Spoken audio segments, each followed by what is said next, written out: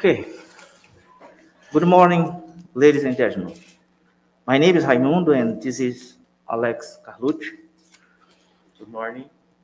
We are members of the local group of Singularity and of the organizing committee of this meeting. It's a pleasure for us to welcome you all and celebrate and declare open the ceremony of the 17th edition of the International Workshop on Real and Complex Singularities. I should say that today we also have two local authorities that we welcome you. Professor André Pons, the head of the ICMC Institute, and uh, Professor Regilene De Lazari, represent the leadership of the local singularity group. They will be invited to say a welcome word for you all. Let me now say some few words about this meeting. The International Workshop on Real and Complex Singularities is a regular biennial meeting organized by the local Singularity Group since 1990. And it became the key meeting for people working singularity theory or singularist, bifurcation theory, and related areas to meet together. The sequence of uh, regular meetings have provided the appropriate atmosphere for world experts and young researchers to exchange ideas and together be able to create new lines and trends of research on singularity theory. Let me also say that uh, for the 70th edition, we have uh, at least two special reasons to celebrate. One reason, but not the main one, is that this is our first in-person meeting after the COVID-19 pandemic that started in 2019-2020 in Brazil. However, the main reason that makes this edition very special for all of us, it is because uh, in the 17th edition of the International Workshop on Real and Complex Singularities, we all together will have the big pleasure to celebrate the 60th birthday of the great friend, collaborator, and why not to say the more Brazilian of the Japanese mathematician, Professor Osamu Saeki.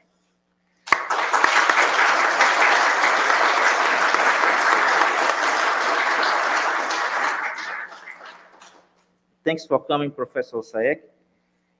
And I'll take the opportunity to say that uh, we are very special for all of us here in São Carlos. Now, let me come back to the introduction, welcome, and acknowledging part. So, uh, let me invite now the organizing committee to come here. And uh, I would ask to, to each, of, uh, each of them please to say the name, institution, and uh, welcome to you all. Please come here, to organizing committee, please.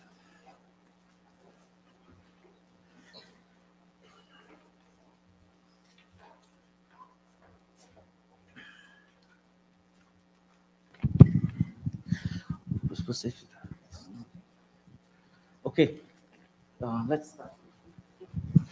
Hi, uh, my name is Otoniel. I'm from uh, University of Paraíba. João Carlos Ferreira Costa. I'm from Unesp, São José do Rio Preto, São Paulo. Edson Sampaio. I'm from Federal University of Ceará, Fortaleza. Hello, I'm Alex. I'm from Federal University of São Carlos. Hello, I'm Leandro. I'm from UFSCar, São Carlos. Okay, thanks, thanks a lot.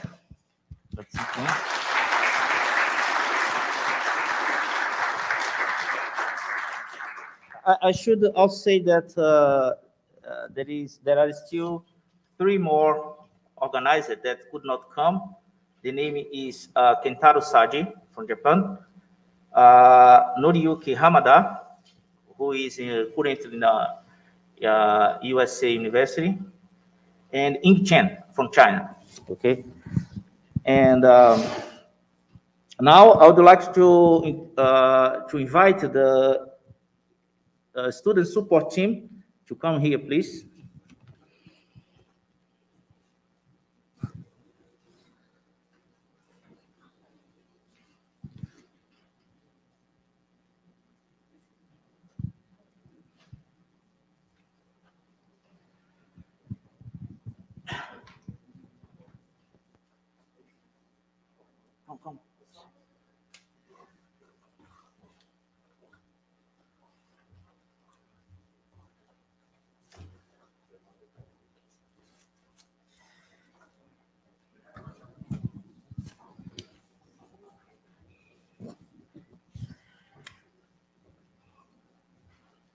So uh, I would ask, please, uh, for each of you to introduce yourself and say the current position, okay? Okay. I am a PGG student here in ICMC. My name is Rafael. Good morning, I am João Vitor. I am PhD PhD student here at ICMC. I'm Amanda and I'm a master student. I'm, I am Igor. I am a PhD student here in ICMC. Uh, I'm also a PhD student. My name is João Paulo. I'm Ellen. I'm a postdoc student. I'm Ana Lívia, and I'm also a postdoc student. Good morning. I am Giovanni. Uh, I am a PhD student. I'm Beatriz. I'm in ICMC. I'm PhD student. I am Bárbara and I will be a postdoc student. I'm Igor, and I'm a PhD student here at ICMC. Okay, um, they are available to help uh, all of you and whether sure, including for, to form groups to go to, for lunch or a coffee inside the outside the, the campus, okay? And okay, let's thank them.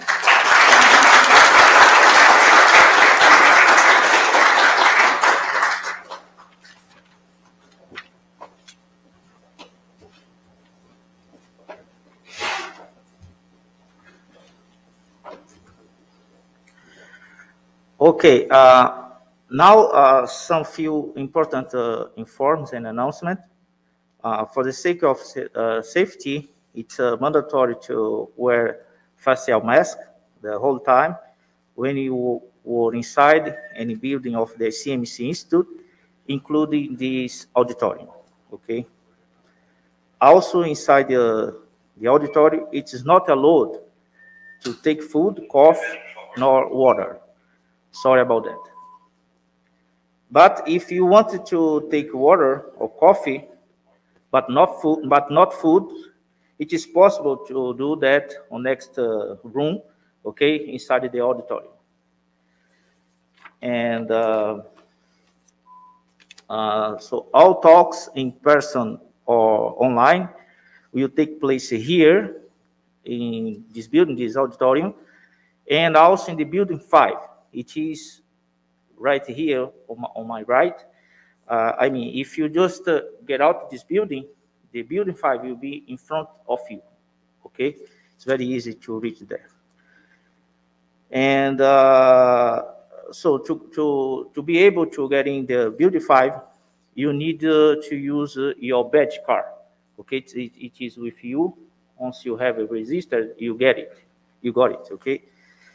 Um, to access the library of the ICMC, it's free.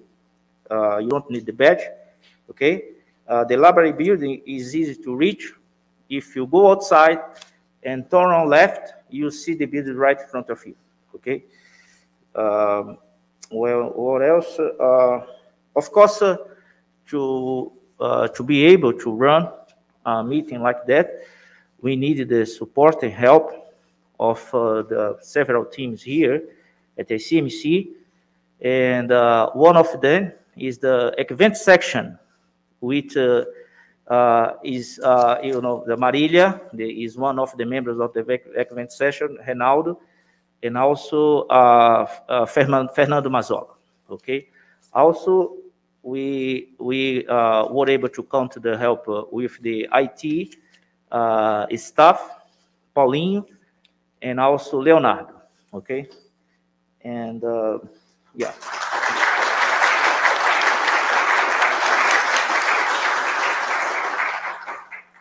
Okay, thanks.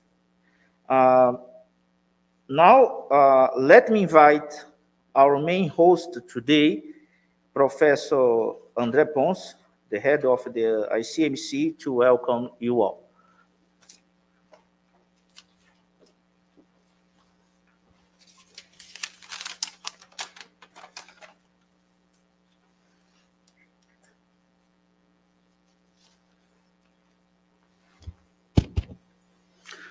Good morning. In the name of ICMC, I'm very pleased to welcome you all for the 17th International Workshop on Real and Complex Singularities. In the last weeks, many of you have been here in the CIMPA Research School, Singularities and Applications, and I can see some familiar face in the audience. I congratulate Professor Raimundo Nonato Araújo Santos and the ICMC Singularity Research Group for this very important initiative. It's also important to mention that the Singularity, Singularity Research Group was founded by Professor Gilbert Loibel in the 1960s, even before you had the ICMC. Um, the Singularity Research Group and the Mathematics Department make us all at ICMC USP very proud of its achievements, which place ICMC USP as one of the most productive, innovative mathematics group in Brazil. I wish you all a very fruitful workshop and a pleasant stay in São Carlos. Thank you.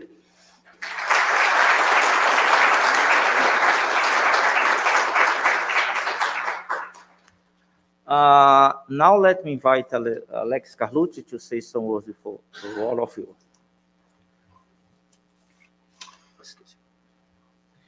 Good morning, everybody. It's a pleasure to me to be part of this huge event.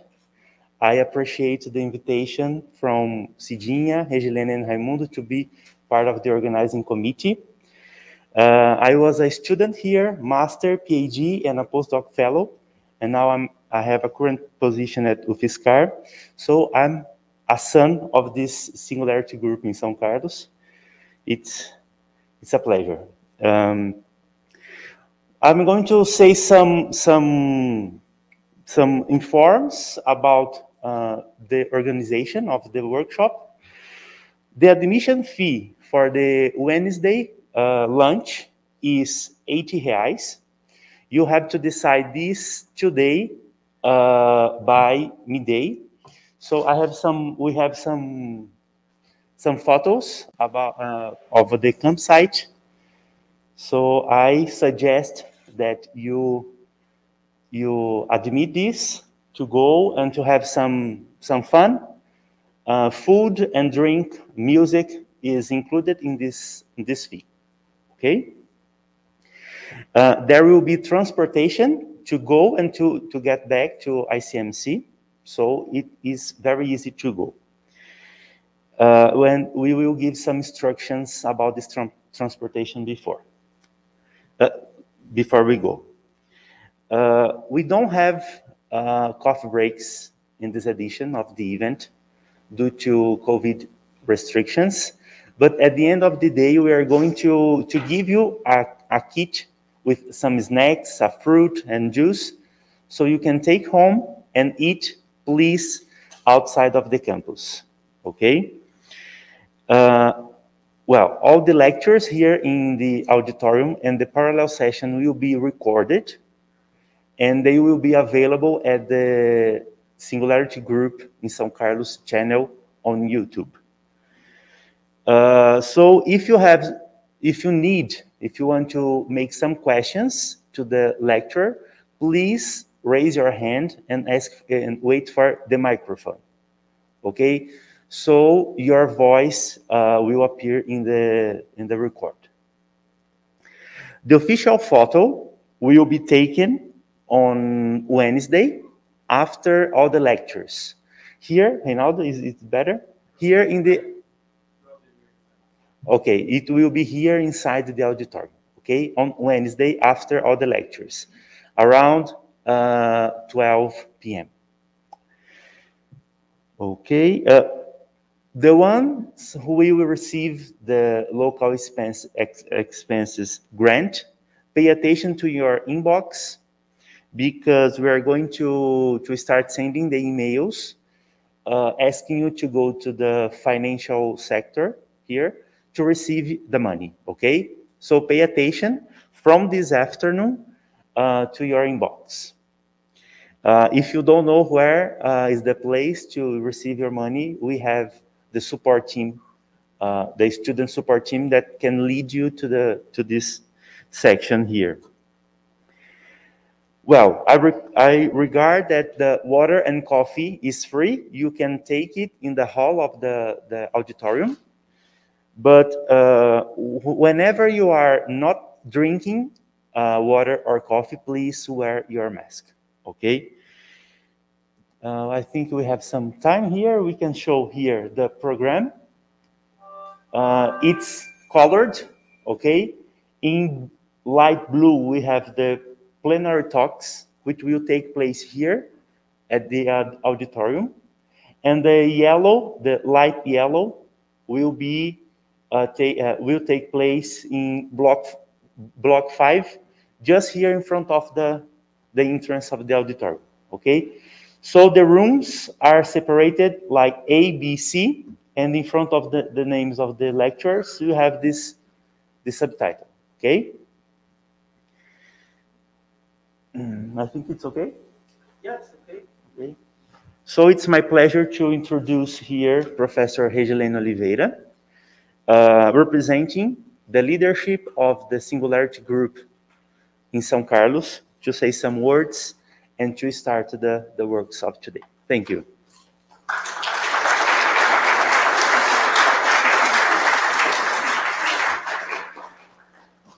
Good morning. It is with an amazing pleasure that I, on behalf of the Singularity Group from São Carlos, welcome you to the 17th workshop on singularities, uh, edition to 2022 at the Institute of Mathematics and Computer Science from University of São Paulo.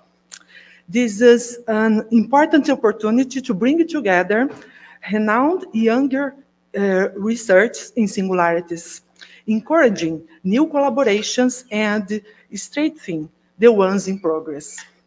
Our group wish you an excellent and productive event. Please do not hesitate in contact us if you need some help. Thank you for, to, uh, to be here.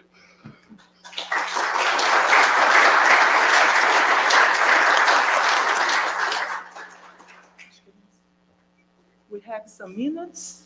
Let's, let's let's wait. Yeah. So we have four minutes to start, okay? We wait some minutes to, to start the first talk.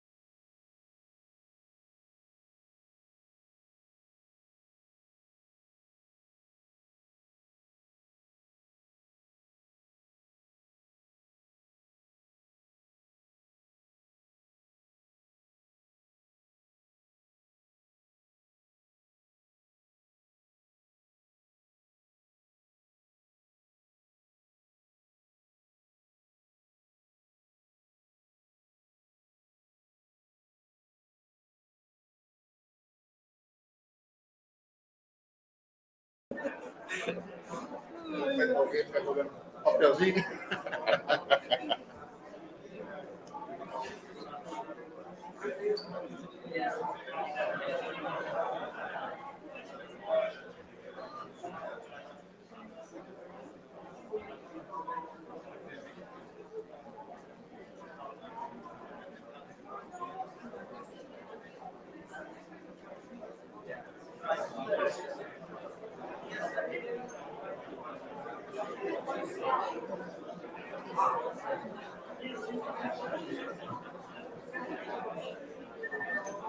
acho que depois, quando você começar, você pode desligar aqui o projetor. O pessoal daqui da frente enxerga o transmissão das TVs. É uma coisa mesmo para a gente se preocupar. Já, já corre direto para o bloco seguinte.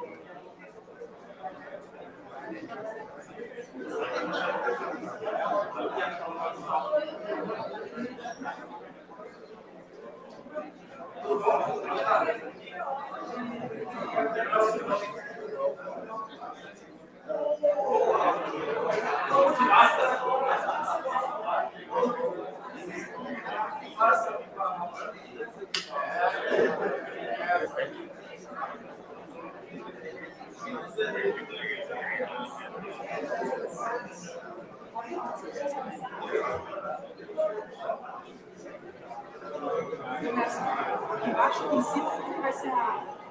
Vai ser o jardim do embaixo. Se possível, aqui na tribuna. A gente já tem um preset. O cara vem, ó. Seguiram o presidente fulano de tal, tal, tal, tal. Pronto. Ligou, desligou. Só para saber o que faz. É melhor. A gente padroniza. né? Mas depois a gente, as perguntas a gente pode fazer de baixo, certo? Sim, sim, sim. Só levar o microfone lá pro, pro perguntador. Nós vamos começar, tá bom? É, vamos começar já. É, o pessoal, eu instruí eles a ficarem aqui na tribuna, os chair, tá bom? Tá desligado, né? Paulinho? Tá ligado? Tá ligado. Vermelhinho ligado.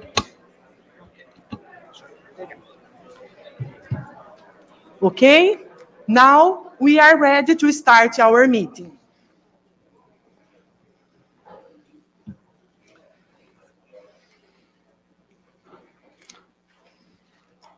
We start this meeting with a plenary talk.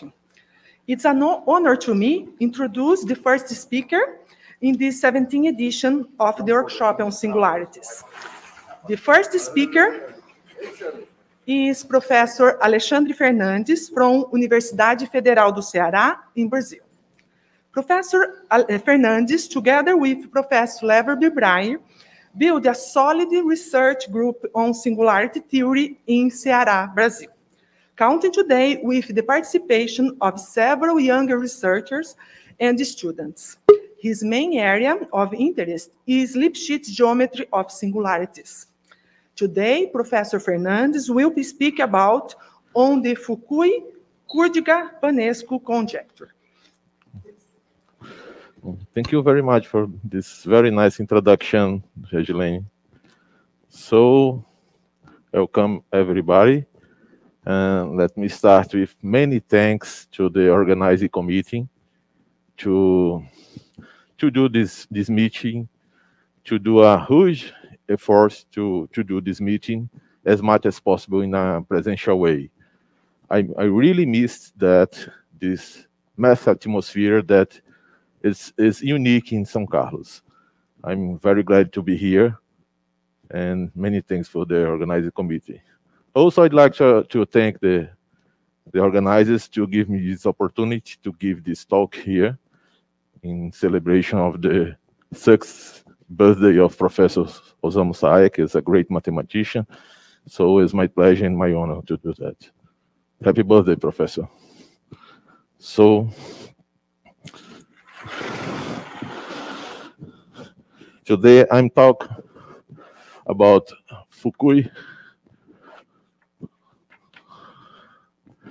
Kurdyka, Paunescu conjecture.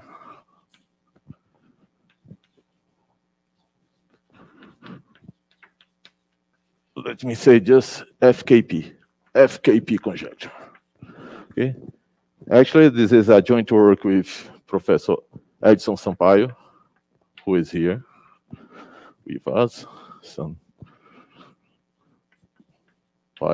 and Zbigniew Jelonek, that I'm sure is following us in, uh, by YouTube, at least.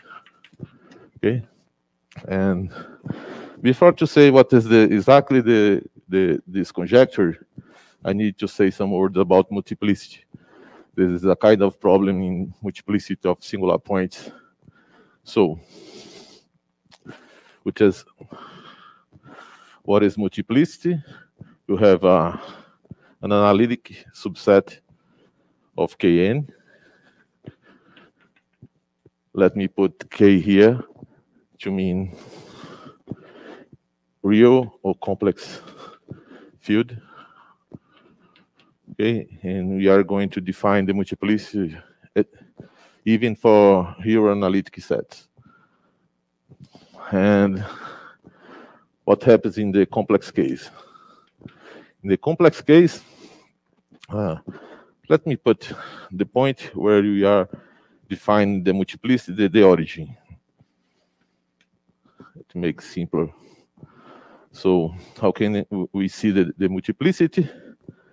So if you take a linear projection from Cn, n is the, the dimension of the ambient space to CD, d is the dimension of x near near the point, the dimension of the germ. Take a linear projection such that this projection is uh, generic in that sense. We don't have tangent vectors to x at zero, which is in the kernel of the projection. This intersection is just the new vector. So if you are in this setting, then exist neighborhoods of the ambient space and also the linear space which is the target of this this projection and uh, analytic subset it is a kind of ramification locus of the projection. Uh, codimension at least one such that when you take the restriction of the projection to x intersection to this neighborhood and remove this ramification locus, we have a covering, a finite map is a finite mapping uh, with topological degree m. And this is a, a kind of picture of that. FCN minus D. And here you have CN, CD. The ambient space has CN. And your set lives here. This is the singular point. Then what is required is the there is no uh, tangent vector here, which is vertical. You have to avoid that. Once you avoid that, uh, you are able to, to find a neighborhood of the ambient space such that when you remove a ramification locus here, outside this ramification locus, we have a covering of degree m, in the sense that for any point, any generic point here, when you take the the affine subspace defined by this point with respect to this this map, the intersection of x as a set with m points, m is here. And, and the more important than that is this m does not depend on the generic projection. This is the definition of multiplicity we are work with, okay? In the complex case. So in the real case, in the real case, um, take the ideal. Of course, this ideal is in the local ring. This is the ring of the analytic complex function at zero. This is complex, okay? Generated by all the real, the complexification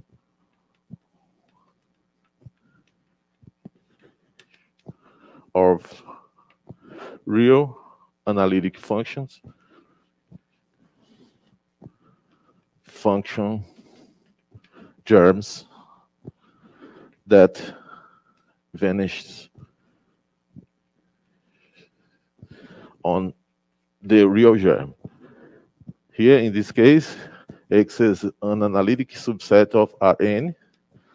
Then you have the idea of analytic function germs that vanish here, and you take the complexification of all of them and take the, the ideal here generated by these functions.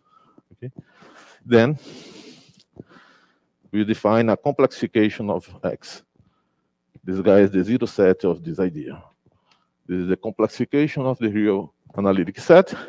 Then we define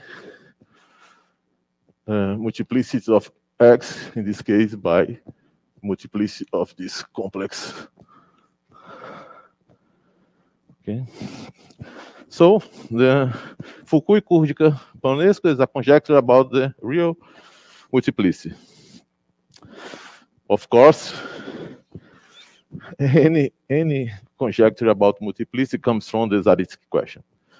The Zariski question is the famous Zariski question. By the way, let me do a, a advertisement. Uh, today afternoon, you have a, a talk by Thomas Felker with an important contribution to the Zariski question. Okay, Zariski question. It is what was stated 70s, say is multiplicity of complex hypersurface analytic sets are topological invariant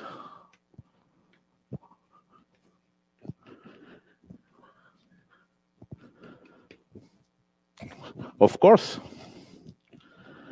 uh, if you are in, in higher codimension, this question does not make sense. In higher codimension, everyone, uh, any two guys are topological equivalent if you have a more codimension. And also, if you are in the re real setting, this conjecture that that's not that, that does not make sense.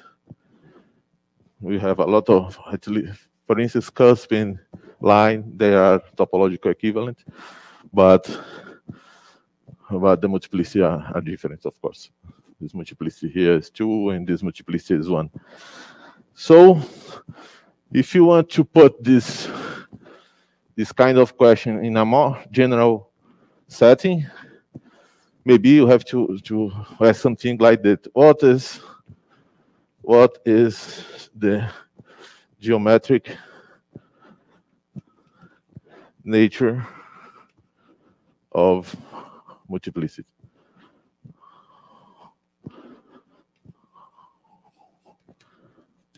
So, in a vague way, okay? Then, considering such a question, now you have a conjecture, the F, FKP conjecture that say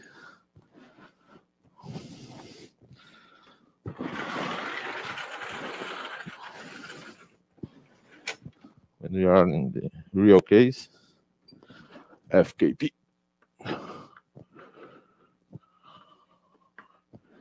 This comes from 2004.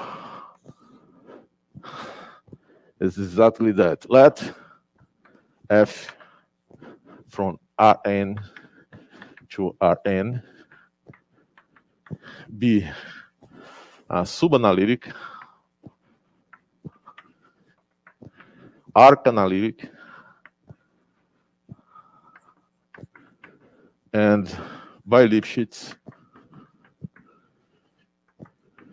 homeomorphism. Ar- Arc analytic means when you compose your map with uh, analytic arc, then the, the composition is also analytic.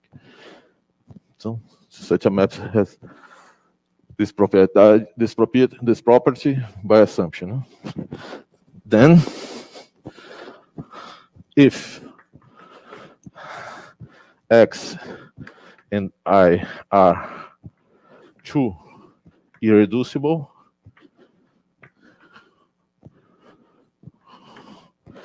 analytic germs at the origin, such that f of x equals to y, then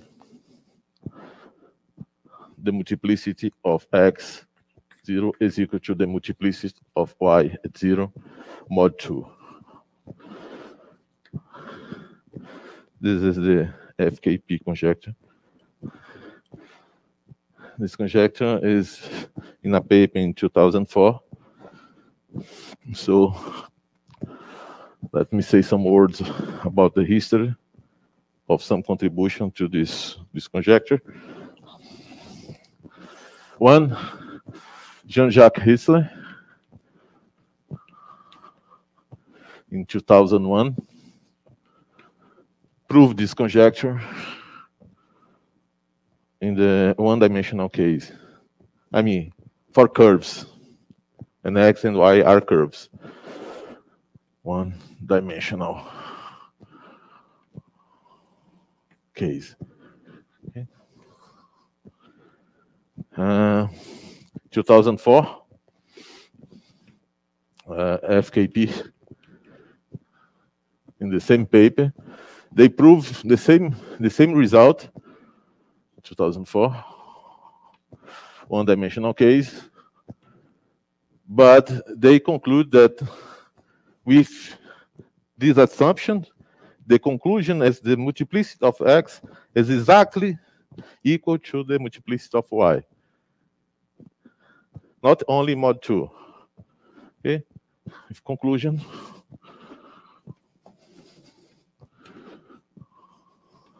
This is the one-dimensional case. And in, in our paper with Jelonek and Sampaio, and Sampaio,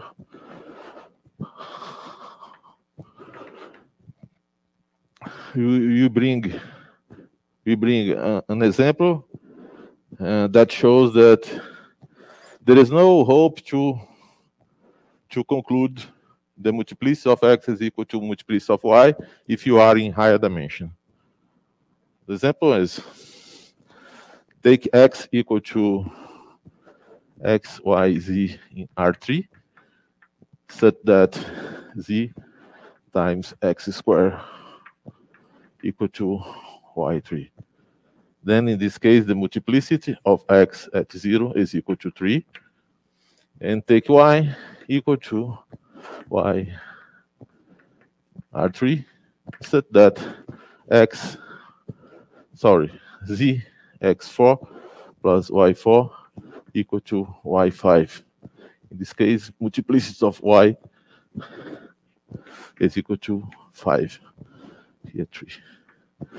And it's easy to to to have a a, a map from C3 to C3, which is subanalytic.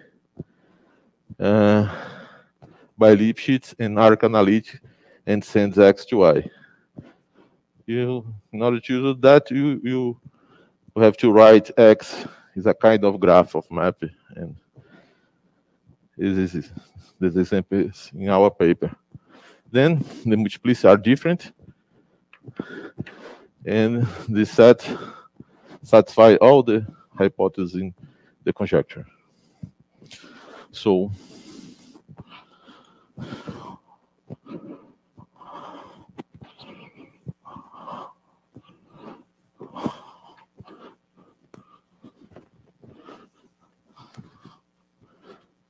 in 2010, Guillaume Valette proved FKP for one codimensional case, co-dimensional case, and also for the two-dimensional case. I mean, when suppose x and y are hypersurface in Rn, sets of dimension n minus one, and in this case, Guillaume Valette give approve of the FKP conjecture, and also in the case where we are not necessarily codimension one, but the set are surface. And in this paper, Guillaume Valette brought a new element to this this discussion was called the odd part of the tangent cone. Okay. It was introduced in the paper of Guillaume Valette. So what Guillaume Valette did actually does not work if you are in, in the case different from this, this, those one. In this case, Guillaume Valette used this, this guy separates the, the sphere in Rn. Then this is important, the dimension of this guy is one dimension less than dimension of the ambient to separate such. So, in a paper with Jelonek and Sampaio, we, we prove this conjecture for any case, then you use this guy and another idea to to arrive in the proof okay so let me let me say what's the idea we used to add to this element and arrive in the proof of the FKP conjecture. Proposition one. Let x and y be algebraic, oh, sorry, analytic uh, germs in CM and CN respectively. If exists uh, bi-Lipschitz map, bi-Lipschitz, such that the graph of this map is also analytic, then the multiplicity of this complex set is equal to the multiplicity of the other one. So the proof of this proposition is, uh, is an easy argument that is quite important to to complement the, the idea of to use the odd parts of the tangent cone. Let me give an idea how to prove this guy. So we have a Lipschitz map. This Lipschitz is not necessarily defining the ambient space where x and y are defined, okay? Then the image of y lives here in C, Cn.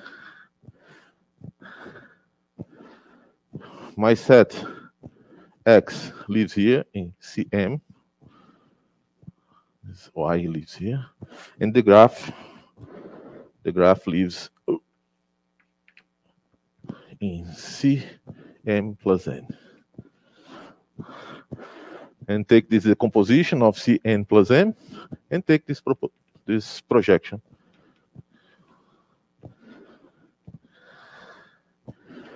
xy, project x, okay?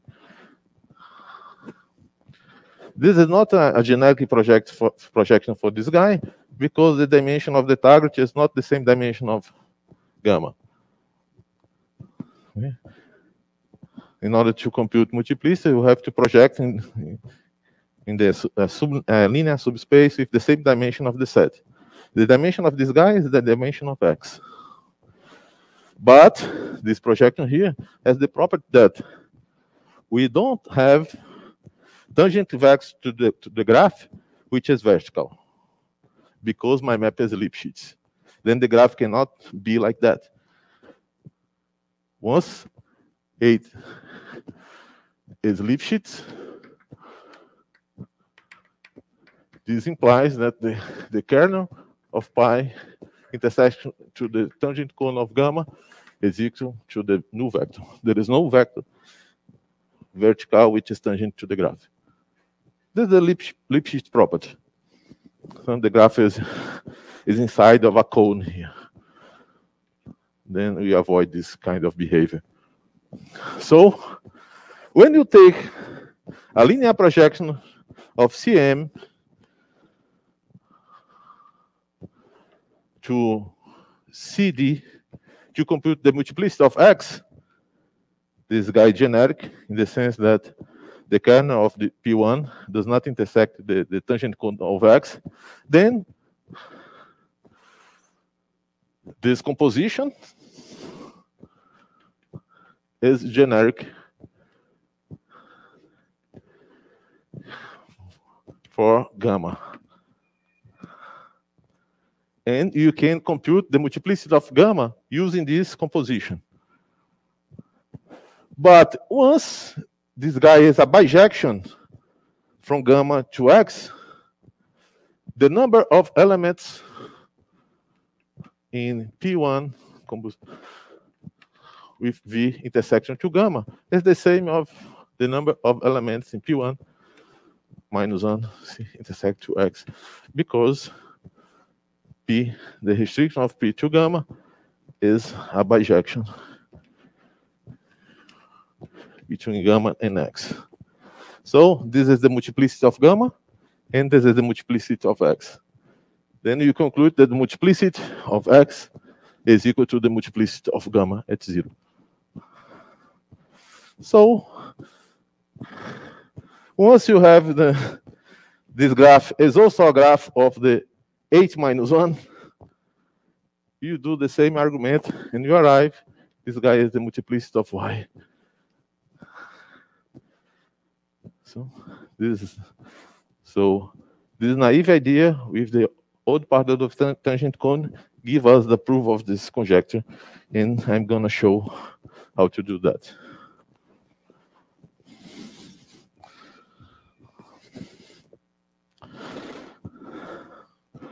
Oh.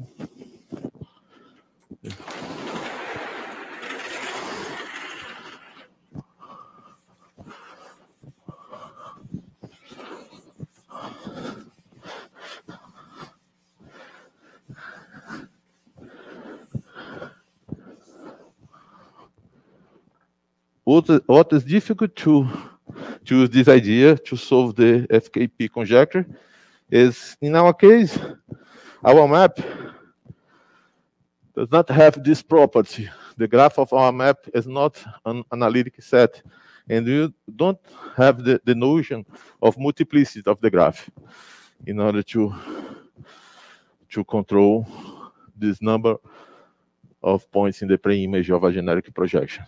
Then you have to, to change a bit the actors in order to mimic this idea. So here we introduce the, the odd part of So I need the spherical blow up.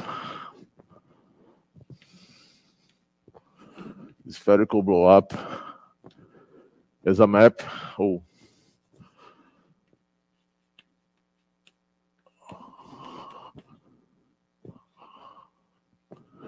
That transform a point in a sphere.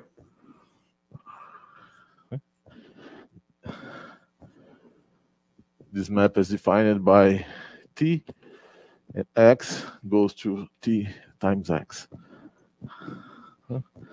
Then once you have a, a set uh, with a singular at the origin,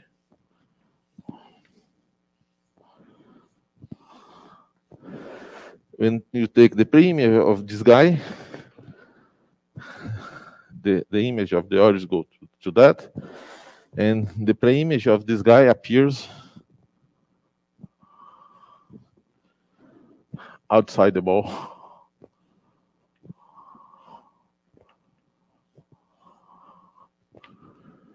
And when you take the closure of the pre-image of this guy, remove the origin, appears a set here, which is the link of the tangent cone of x at, at the origin.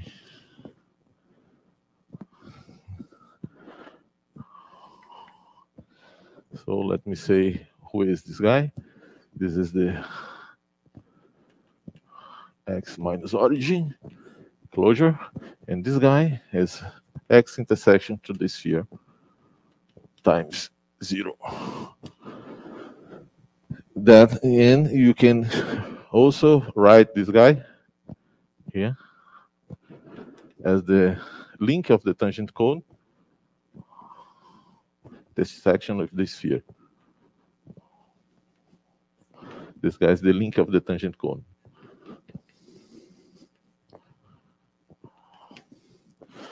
Okay. So, and uh, you can distinguish some points here, that, which are some directions, where your set has a, I've talked about that in the, the mini course, a kind of pamphlet structure. Okay. Let me distinguish directions, which are point here, correspond to tangent direction in our stars. This point is called simple if exists neighborhood Uh, and neighborhood of this direction such that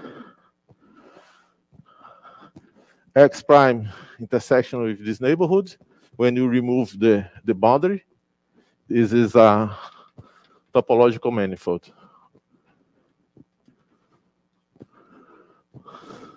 With finite finite components. And when you add, when you take a component of that and you add the boundary, this is a topological manifold with boundary. And A is a component of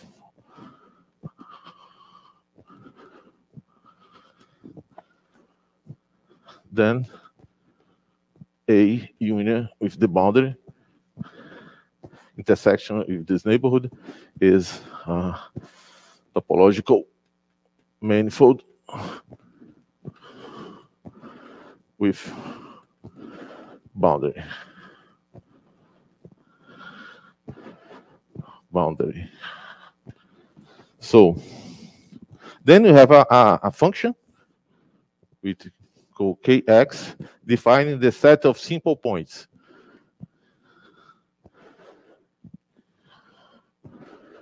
Once you have a simple point here, you can compute how many components you have in this this pen this pamphlet. How many pages you have in this pamphlet? So this well defined on the simple points. We we have a theorem that say that once your tangent cone is has maximal dimension, then this set of simple points are open and dense in the tangent cone. And we define the odd part of the tangent cone. You take all the directions, set that the number of pages here is odd. And you take all the directions, simple, set that this guy is odd. And take the closure of that. This is the link of the tangent, the odd part of the tangent cone, and the tangent, the odd part of the tangent cone is is the cone, the cone of this guy.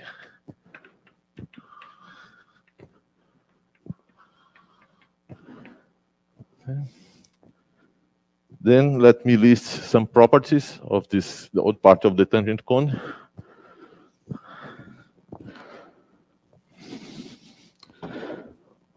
One.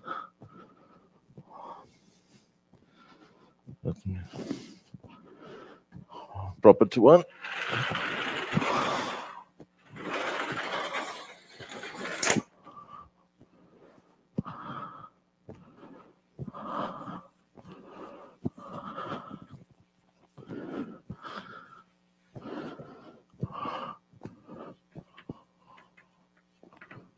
If x, y, sorry, 8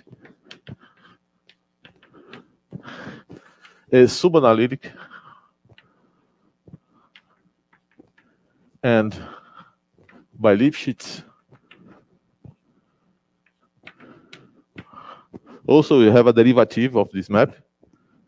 This derivative is defined the domain of this the derivative of this guy is the tangent cone of x.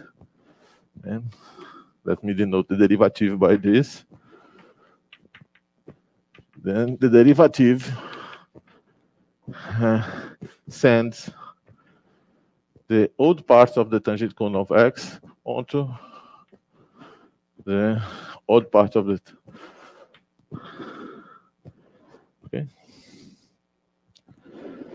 The idea of this is once this map, this mapping downstairs is bi-Lipschitz subanalytic, you can lift, you can lift this map to the blow-up spherical, and this map can extend continuously to the strict transform.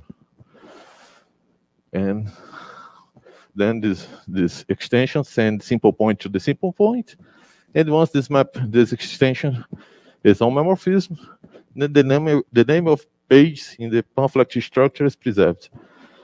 So this is easy. So we have another proposition. So this property here is uh, an important step in our proof. Let me, let me take it here exactly, exactly the statement of this another property of the odd part of the tangent cone.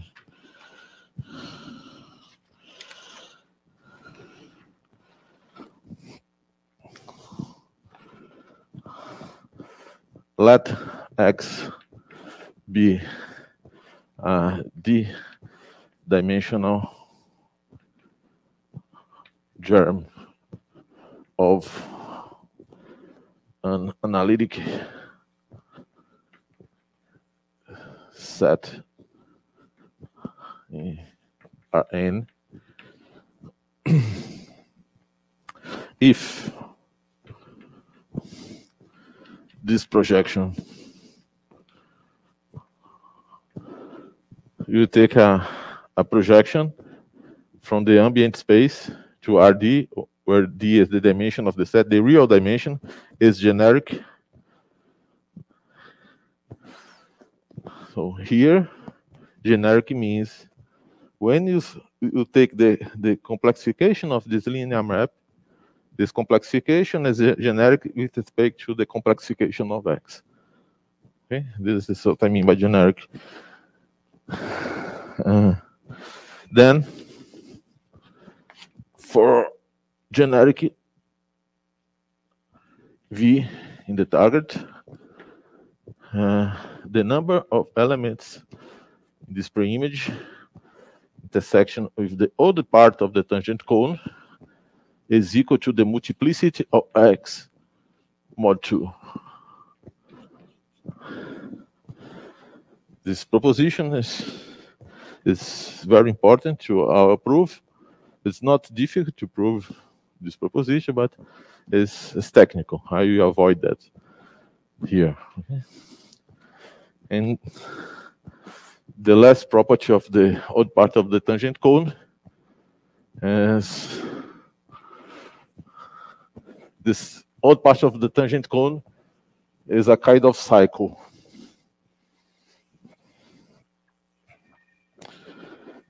Homological cycle. So, uh, Euler cycle. What is an Euler cycle? Euler cycle is uh, a subanalytic closed subset in Rn or projective. Okay, you can define both cases such that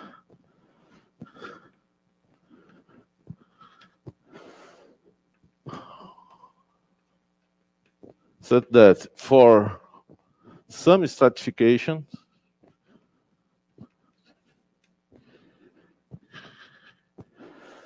some stratification of the set. You, you have your set here.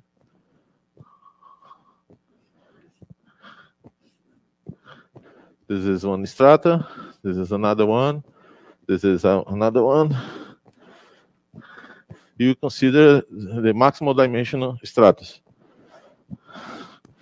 The number of d minus 1 strata dimensional strata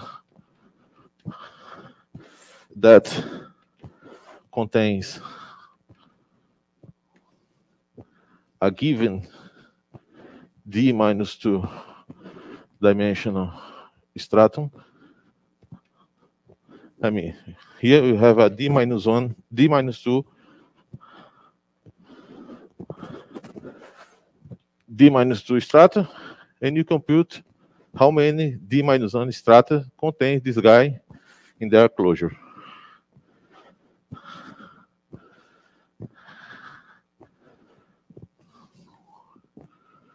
Closure is odd.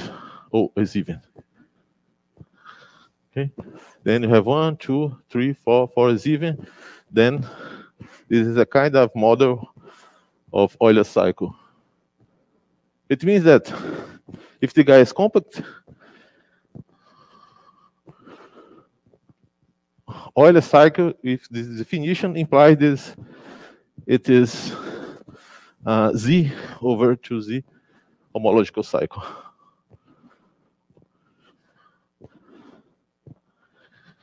You take all the stratas of dimension d minus 1, this gives you a cycle with coefficients z over 2z because of that. Then the last proposition is the odd part of the tangent cone is proposition 4.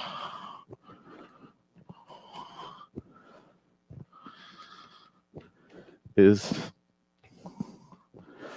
an Euler cycle.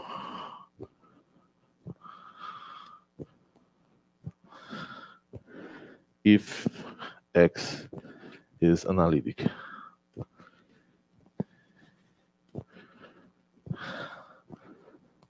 And moreover,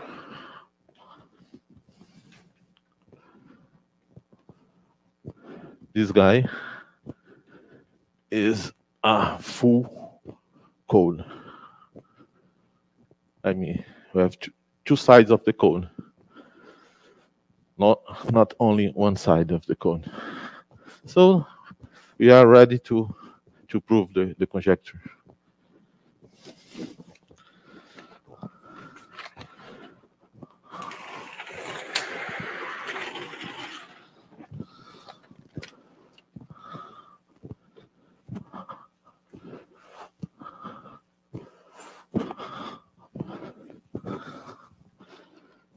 Theorem.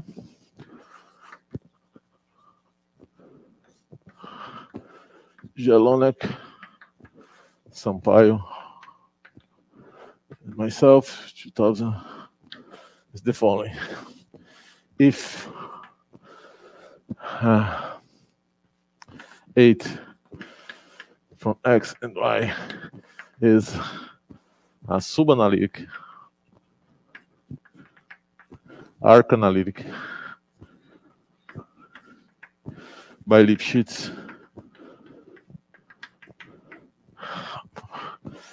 between two analytic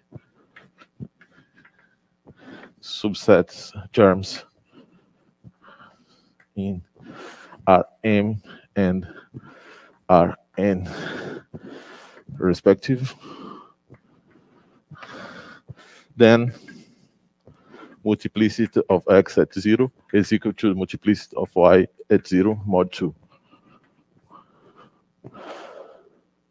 So let me remark that we have proved a little bit more than the conjecture, the FKP conjecture. We don't suppose the map is defined in the ambient space. And also you don't suppose x and y are irreducible. Okay, prove. Two minutes. Prove. Once this guy is bi-Lipschitz, and this guy send the odd part of the tangent cone to the odd, odd part of the tangent cone of y. Then you may suppose they are both uh, not empty. Because when the tangent, the odd part of the tangent cone is empty, is the tangent cone, eh, cone is degenerated. Then the multiplicity is equal to zero. Okay, it's degenerated. Then you may suppose the link of the tangent cone of this guy is not empty, and the link of the tangent cone of this guy is not empty. Then you have a map, which is the derivative of 8 defined here. Then we are in the, the, the, the, same situation of the proposition 1, on we, I presented that naive idea. Here, uh, uh, Rn, Rm, C prime, C prime, and here the graph of C. Once C is a derivative of a map which is arc analytic, this map here is R homogeneous. That satisfies that. Because this guy is arc analytic. Then this guy is a full cone. And you use this property, then this guy is a full cone. We have two sides here. And once this guy is an Euler cycle, and the graph is homeomorphic to this guy, this guy is also an Euler cycle. Then when you take the, the closure of this guy in the projective space, this is a compact Euler cycle. Then it has a topological degree with that you take a generator of this homology here, the dimension of this guy is, is D, this homology.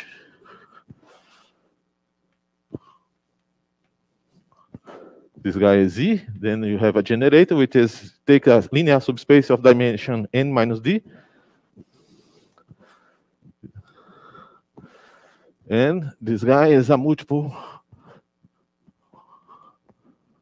of this fundamental class. And this number here uh, is a kind of multiplicity of this guy. Then when you take generic projection here and here to compute the multiplicity of this guy, this number comes equal to that. Then you use proposition 3, which says is when you take generic projection of this guy, and you compute the number of pre-image, this number is equal to multiplicity of x mod 2. Then you prove the multiplicity of x is equal to m mod 2. And you do the same to x, uh, the odd part of y, because this guy is also a graph of that.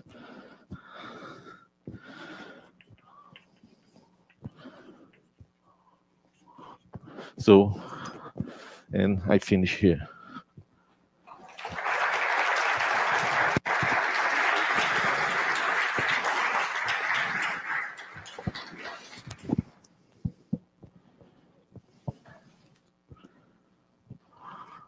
Thank you, Alexandre.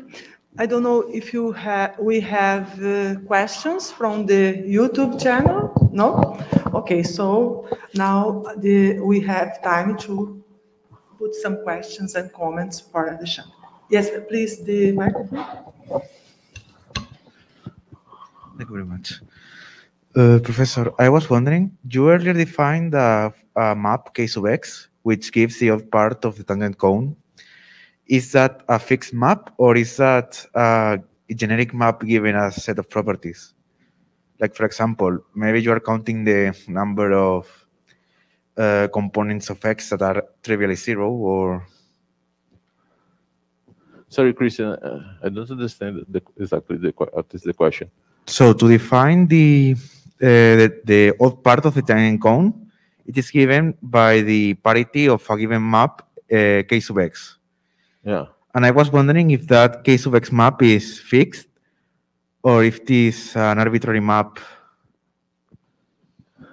This is actually this, this map is, is is kind of density. It is it is well known as, as defined by Kurdyka and Raby. They compute the the the number of sheets accumulating in one direction. You can we can change a bit this this computation, but not too much. It's a kind of canonical. Thank you very much.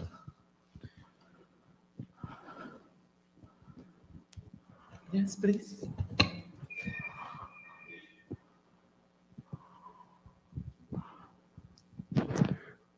So you gave a counterexample showing that if you have simply two sets, then you can't get the multiplicity of one necessarily is the same as the multiplicity of another with the, under the hypotheses that you have in your theorem. Yeah. Um, Can you take your counterexample and embed it in a family, which is bi-Lipschitz trivial, where each of the trivializations is arc-analytic and uh, has a sub-analytic graph, and still have the multiplicity change in the family? I have not thought about that. Okay. I didn't try it yet. So my answer now is I don't know. Okay. Thank you. But a good question. More questions, comments? No? Okay, so let's thank the speaker again. Thank you. Thank you.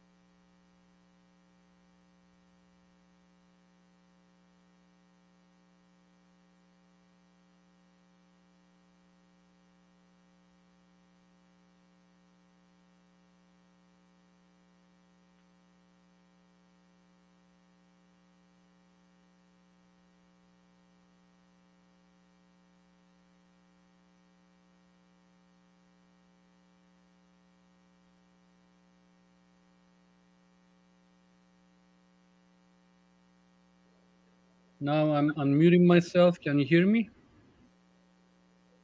Okay. Is it too loud? There's a fan in the background. Is the fan too loud for you guys? Okay. Let me see if I hear anything from the audience. Yeah, I don't think I hear anything from the StreamYard. So I don't. So.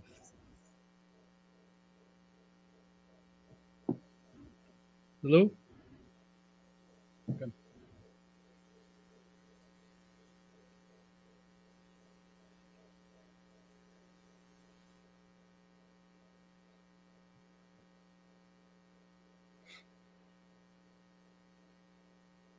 Hey, um, so I don't hear anything back from StreamYard. So if there are questions and such, how am I gonna know?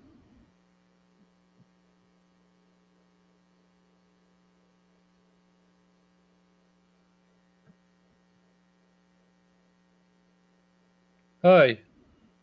Hi, Paulo. Hi. Okay. Yeah, I will do that. Uh, my question is, if there is some feedback from the audience, if there are questions, how am I going to know? Because I don't hear anything. I don't see any other videos other than mine.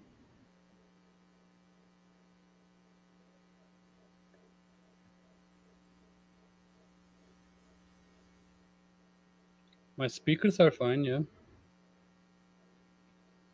My speakers are fine. I mean, I don't hear much. Yeah, let me see. Audio.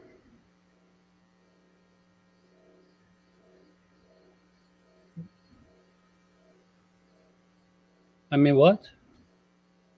Yeah, so let me first share and then we can see. Um, I actually hear nothing from there. So let's see how the sharing. Yeah, so I will do the share screen. Yeah, unfortunately, I can only do it through the tab and I will do that. Okay, do you see this one now? Okay, so I will put it in presentation form. Um, this is right.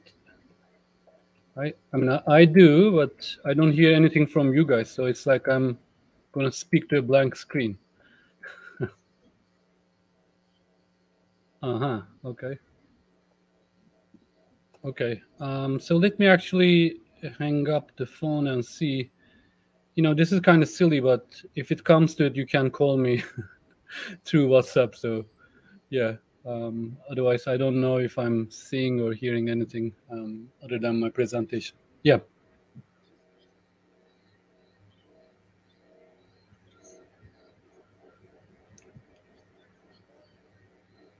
Okay, let me do that. Just give me a second. About we do YouTube? Something.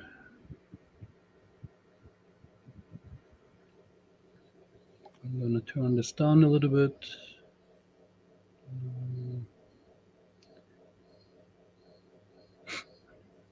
Yeah, this is just.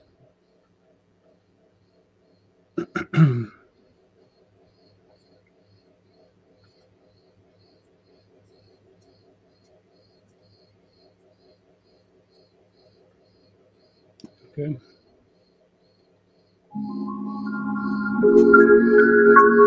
No, it's fine. See, I can I can hear things. I just cannot hear anything from the StreamYard. Now can you hear me? Oh yeah, now I do. I'm gonna it hang was up. my mistake. It was Okay, now I hear you. sorry. Hold it. Yeah. Yes. Okay, this makes more sense. Ah, okay. Thank you. Thank you. So we will, we will see and hear anyone during the presentation after for question time. It's going to be very easy, very, very good. Me travou. Acostumado com que esse micro, esse aqui, esse local, é esse aqui que faz a transmissão. E eu esqueci que eu estava usando esse aqui, é, que é esse cara aqui. Aconteceu alguma coisa com ele. Agora deu pau lá na.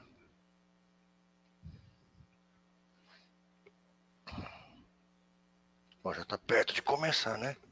É, mas não tem ninguém aqui ainda. É. 10h45. Uhum. uhum.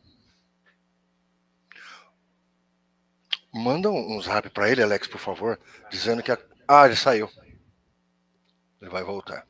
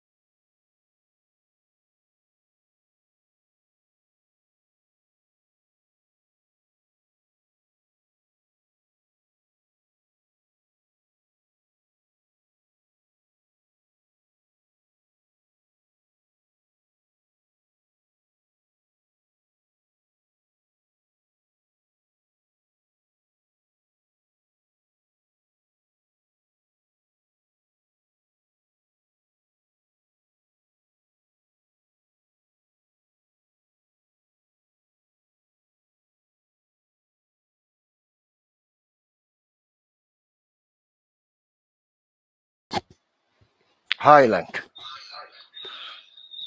Uh, please share your presentation again.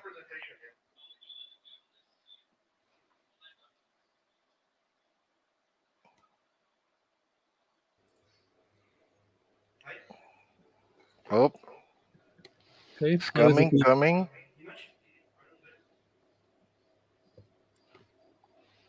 Perfect.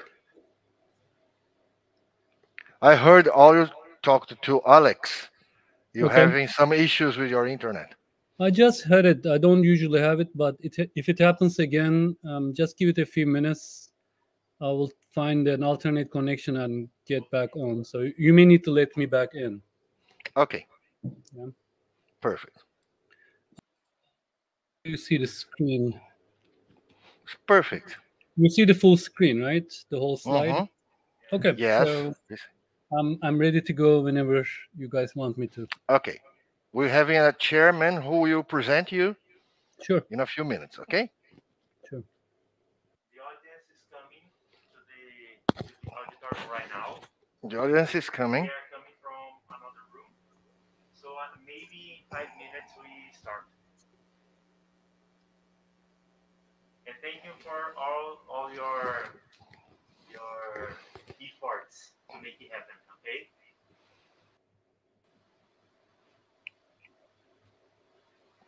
Acho que ele não ouviu por causa. De nada, que é isso?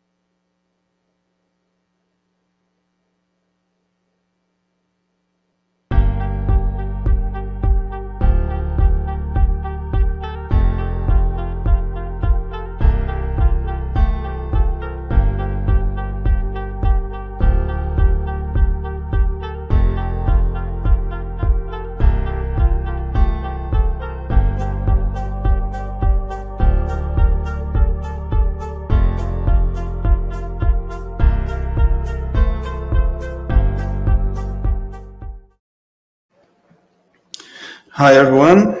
Good morning.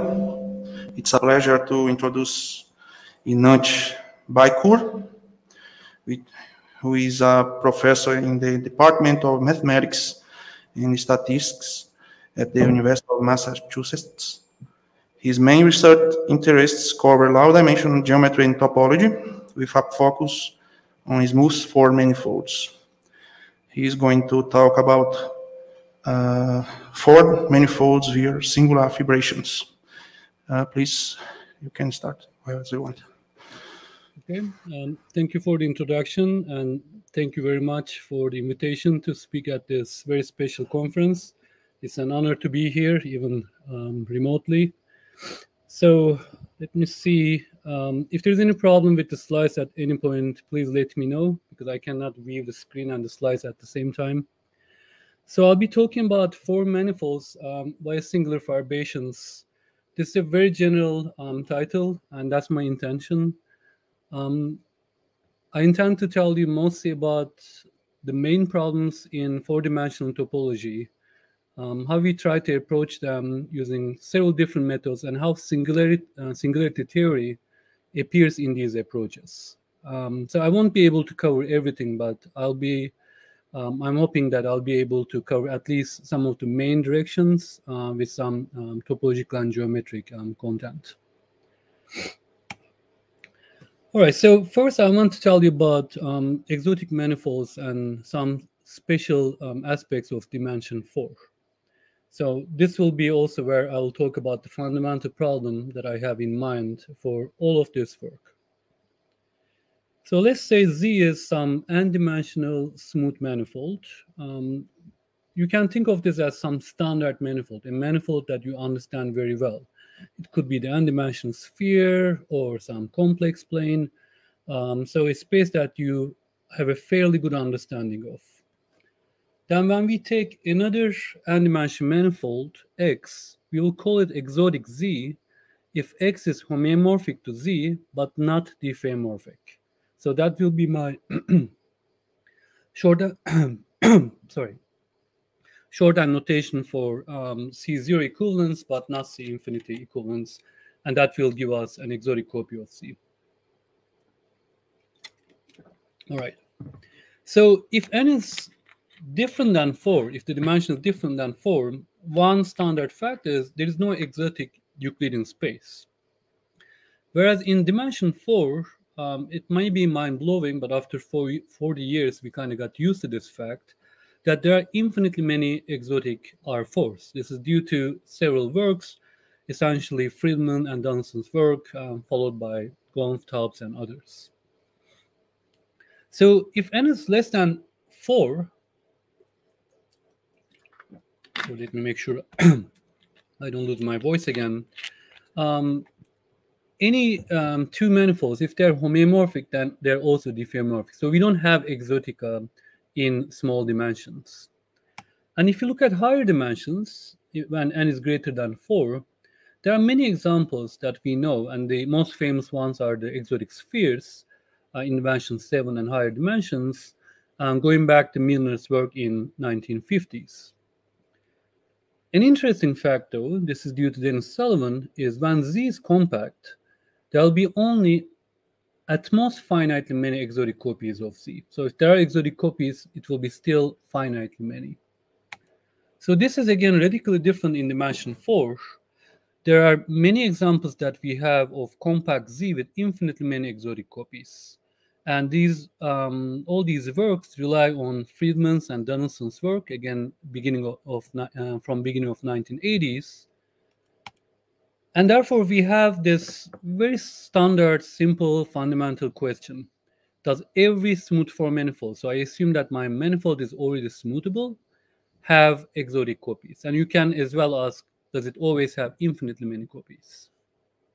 So one particular case of this is very popular. It's known as the four-dimensional smooth Poincare conjecture, and it's still open. So if X is homeomorphic to the fourth sphere, is it necessarily diffeomorphic to it? And um, this problem is known in all the other dimensions. Like in smaller dimensions, there is no exotic copies. In higher dimensions, we know when we have um, exotic spheres. All right, so let me talk about two aspects of this problem, right? So we want to understand when Z and X are homeomorphic but not diffeomorphic. So the first thing is, of course, um, establishing that when X is homeomorphic to Z. So how do we tell this? So to keep the exposition simple, I will assume that we'll be looking at simply connected four manifolds. Again, all these adjectives, I don't want to repeat them. They'll be smooth manifolds, simply connected. Um, I will take them with orientations and let's look at compact without boundary um, case. So here are some examples, again, of many standard manifolds that you know. These are all um, some standard examples of four manifolds. There is the four sphere, you can take the product of S2 with S2 again. You can take the complex projective plane. You can take the complex projective plane with the opposite orientation, the one that's not induced by the complex structure. And there is the famous K3 surface. Um, there are many K3 surfaces in algebraic geometry, but they um, they are all diffeomorphic to each other. So as a smooth manifold, I talk about the K3 surface and it is the um, it's given as this complete intersection that's that you see in the slides in CP3. If you take a degree four polynomial like the one that I wrote there, then the solution set is the K3 surface. And you can take again K3 surface with the wrong orientation, or you can take connect sums of these uh, manifolds. These are all simply connected um, four manifolds satisfying all the adjectives I mentioned. Now, in the topological case, any such X, any simply connected, closed-oriented smooth four manifold, it turns out is homeomorphic to a connect sum of the standard manifolds that I just mentioned. So it's a fairly short list, and taking their connect sums, you obtain the topological type of all simply connected uh, four manifolds.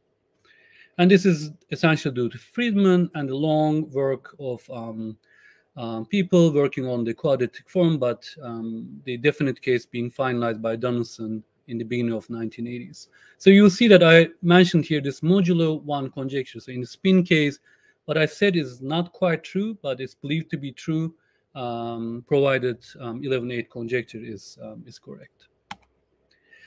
So it turns out that to, to determine the homeomorphism type, of, um, of a four manifold X, you just need to understand that it's simply connected. So you can plug in Freedman's theorem. And then a few algebraic topological invariants will determine the quadratic form, and the quadratic form will determine the homeomorphism type. And I just listed these. So one is the Euler characteristic that everyone knows.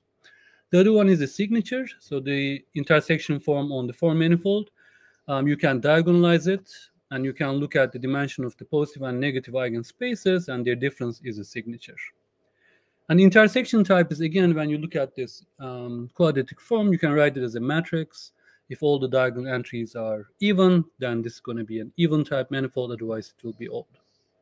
So this, this means that the surfaces in your four manifold, if you look at their self-intersection, if they're always giving even self-intersection, that's an even manifold. Sometimes I would say spin manifold otherwise odd or um, non-spin. So the topological four-dimensional Poincare conjecture, unlike the smooth case I just mentioned, is solved. So this is due to Freedman, and it's a corollary of this work that I just mentioned. If X is homotopic to four sphere, then it's homeomorphic to it. And again, there's a long history, and this is um, already known in um, lower dimensions and dimension three being the long-standing one and, and resolved by Perelman. All right, so next I want to tell you about how we how we compare the smooth type, right? The previous one was about the topological type. So to understand that we have an exotic copy, we actually want to tell that X is not diffeomorphic to Z. But I want to start with discussing how we sometimes tell that X is diffeomorphic to Z. And this is maybe the first occurrence of um, singularity theory in a form that everyone is familiar to. So here, what we do is we take Morse functions on x and z. So there's handle body decompositions corresponding to them. We can um, create handle diagrams in low dimensions. This is very effective. These are essentially um, some link diagrams and more information um, on three-dimensional handles. And then we do what we call Kirby calculus. And this is corresponding to Cerf theory for generic homotopies between these Morse functions. So here's an example. I mean, this is just to illustrate how it goes. It's a picture, so you don't need to really go through these steps. If you take S2 cross S2 and blow it one times, which, which means connect something with CP2 bar, the wrong orientation. And if you take CP2 and blow it two times, they become diffeomorphic. And this diagram that you see is actually proving it through what I call Kirby calculus. Now, um, this this this this may be encouraging, so I want to um, push the brakes right away. There's actually no algorithm to tell if two given um, Morse functions, even if they are like better Morse functions, they give us nice handle diagrams. There's no good algorithm to tell that um, through Kirby calculus we can see them to be equivalent or not. So usually it's not feasible, and it is not useful to tell that X is not diffeomorphic to Z. So instead, we use smooth properties and smooth invariance, right? To to argue that X is not diffeomorphic to Z, that's what I'm going to do. So let me give you a few examples. So the first example is I will say X is irreducible if X is not diffeomorphic to connect sum of X1 and X2 where neither X1 nor X2 is homeomorphic to the fourth sphere.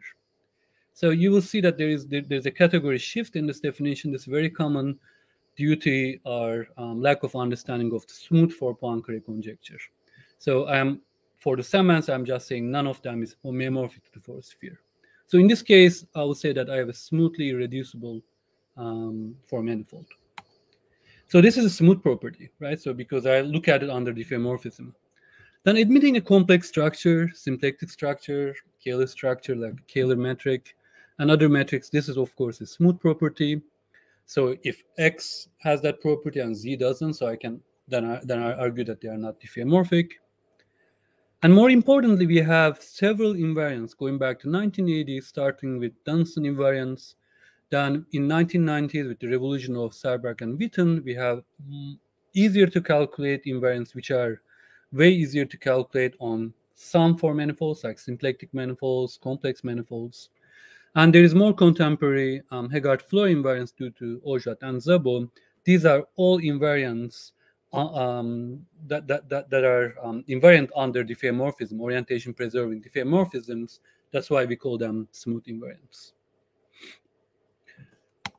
So how effective is Kirby calculus? Um, this is just to illustrate with two examples you see I, I, gave here two diagrams, right? I'm on, on the passings. I want to mention um, some more complicated diagrams. So one is due to Bob Gompf, the other one is due to Selman Akbulut. And the first example is actually a diagram of the fourth sphere, which you know admits a the composition with a zero handle and a four handle, so it's an empty diagram. So this is equivalent to an empty diagram.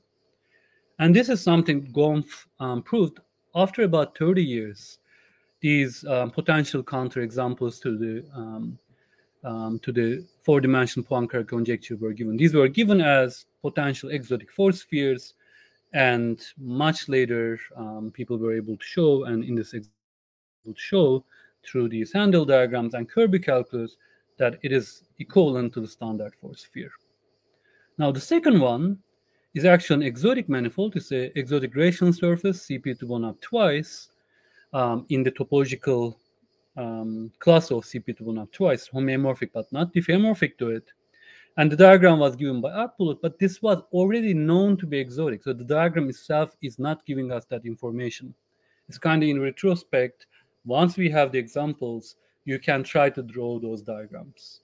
So the takeaway from these um, is it may be useful to use Kirby calculus and going back to singularity theory the theory that comes from Morse theory and Cerf theory um, to establish two manifolds are diffeomorphic, or to establish that something's actually standard, not exotic, but it doesn't help to get um, exotic examples.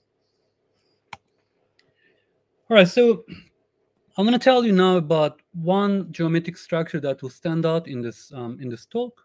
It's a symplectic structure, and I, I will try to um, tell how it relates to the discussion we just had, right? What is the connection to exotic four manifolds?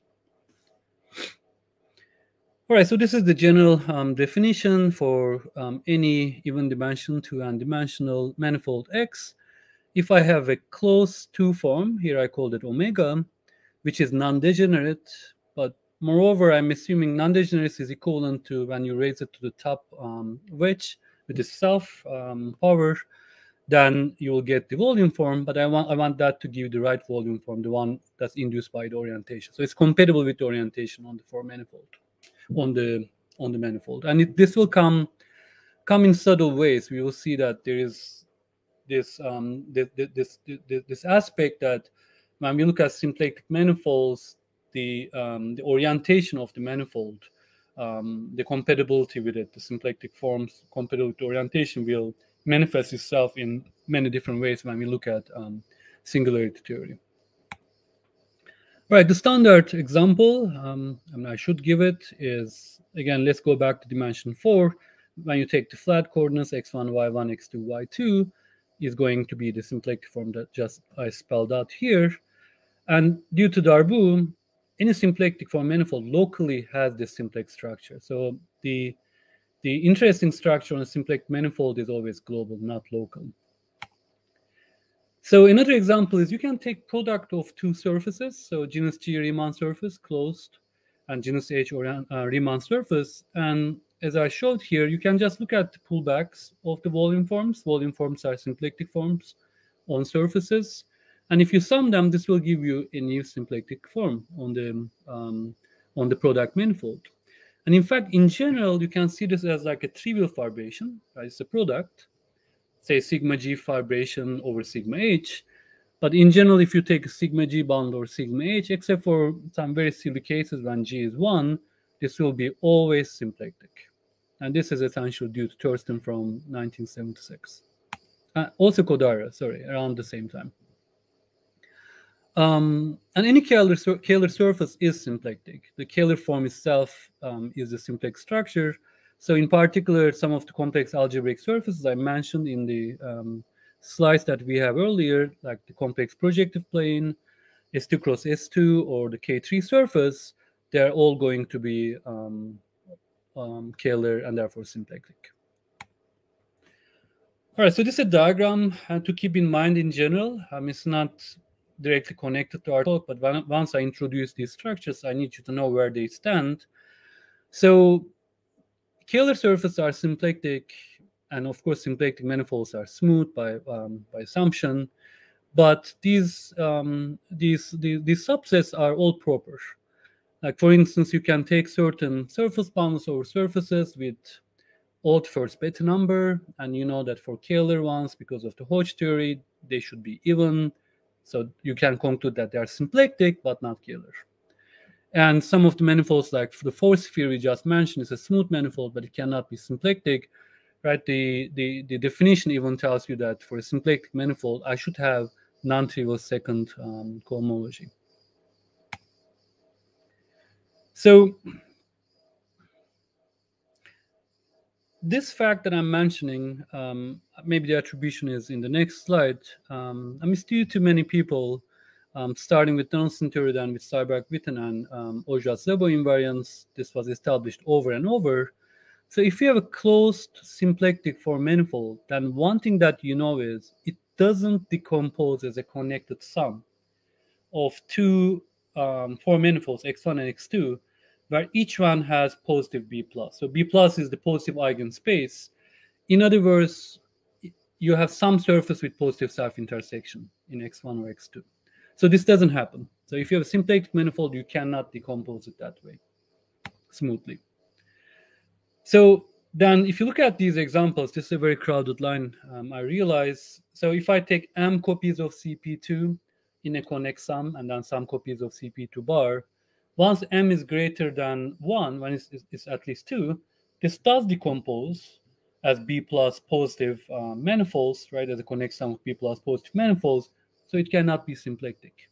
And there are a few others that are listed here with K3s and S2 cross S2s.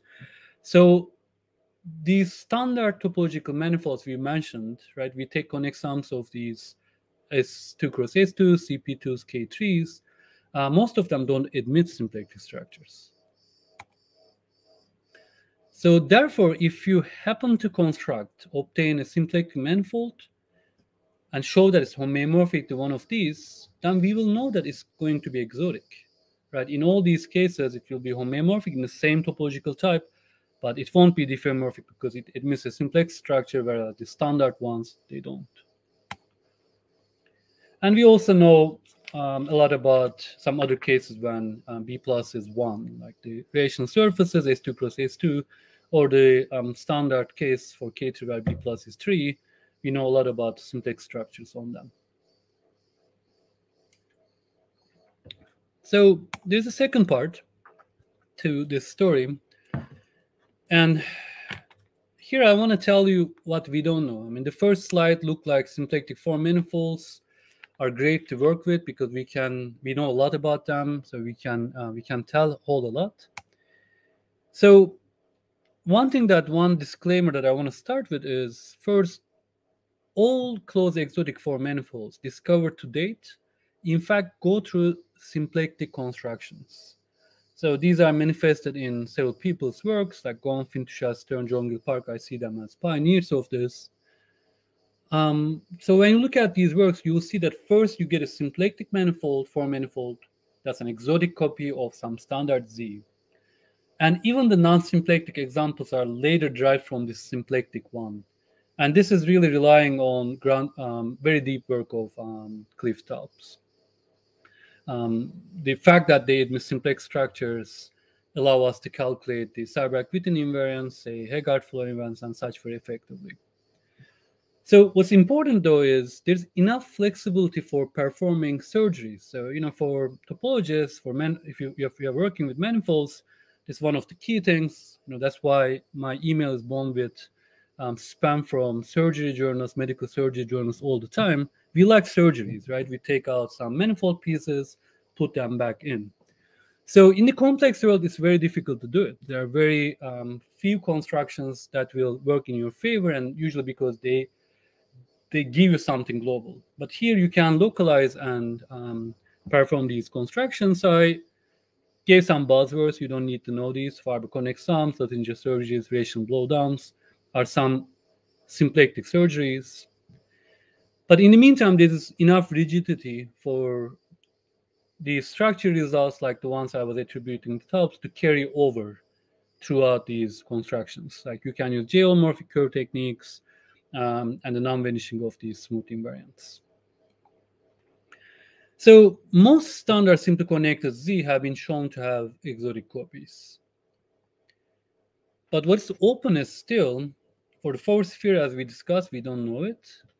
So one curious case is definite case. So if you have connect sums of CP2s, then we don't know if there is an exotic copy of that or not. It doesn't matter how many connect um, you have. Same same applies to the case when you reverse the orientation. And another case that turns out to be very difficult is when the signature is zero. So if you take connect sum of sums of CP to CP to bar, right, signature is one minus one, together is zero. So if you take sums, the signature is still zero, or you take connect sum of S2 cross S2s, again, um, through the connect sum, the signature is additive.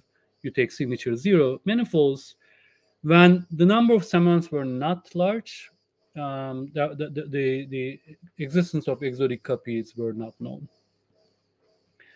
And there is an interesting um, conjecture, and this is one of my favorite problems that I want to drop here. You can also talk about symplectic four-dimensional Poincare conjecture, which says if X is homeomorphic to CP2 and is symplectic, then it's diffeomorphic to it.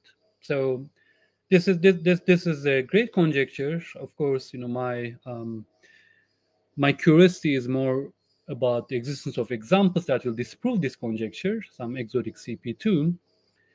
And it's fair to also mention that this is not known in higher dimensions. So this is not something that was better understood in higher dimensions because now there are geometric structures um, involved. But in the complex case, it's known. So if X is complex and homeomorphic CP2, than the um, the celebrated solution of um, um, Yau of um, Calabi's conjecture shows that X will be diffeomorphic to CP2. Let me check. So we start at uh, 50, 25 minutes. Okay, so I think I'm ready to tell you about the next occurrence of singularity theory. This is Lefschetz pencils and fibrations. In fact, in this talk, I will I'll discuss more the fibrations and pencils only um, in the passing. So this will give us a more uniform approach to building symplectic manifolds. Right. So so far I told you about several different families of symplectic manifolds, but I will try to now illustrate how we can um, aspire to at least obtain all the symplectic four manifolds using um, the approach that I'm going to lay out. So um, this is the three areas that we all like, right? In pure mathematics, geometry, topology, and algebra. So the first object comes from geometry, right? So I have a symplectic structure on my four manifold. So the pair is a symplectic manifold, x omega.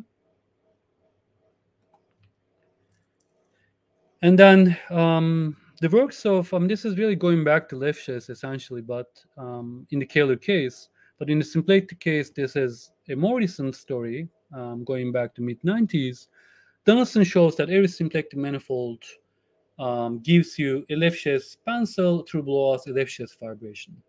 And the works of um, Thurston and Gompf, Gompf generalizing Thurston's work, tells you that if you have a Lefschetz fibration, I get a um, symplectic manifold. You will see that this is a weakly arrow because correspondence is not one-to-one in some meaningful way, and there are some ways to discuss it, um, which, which is really not essential for this talk.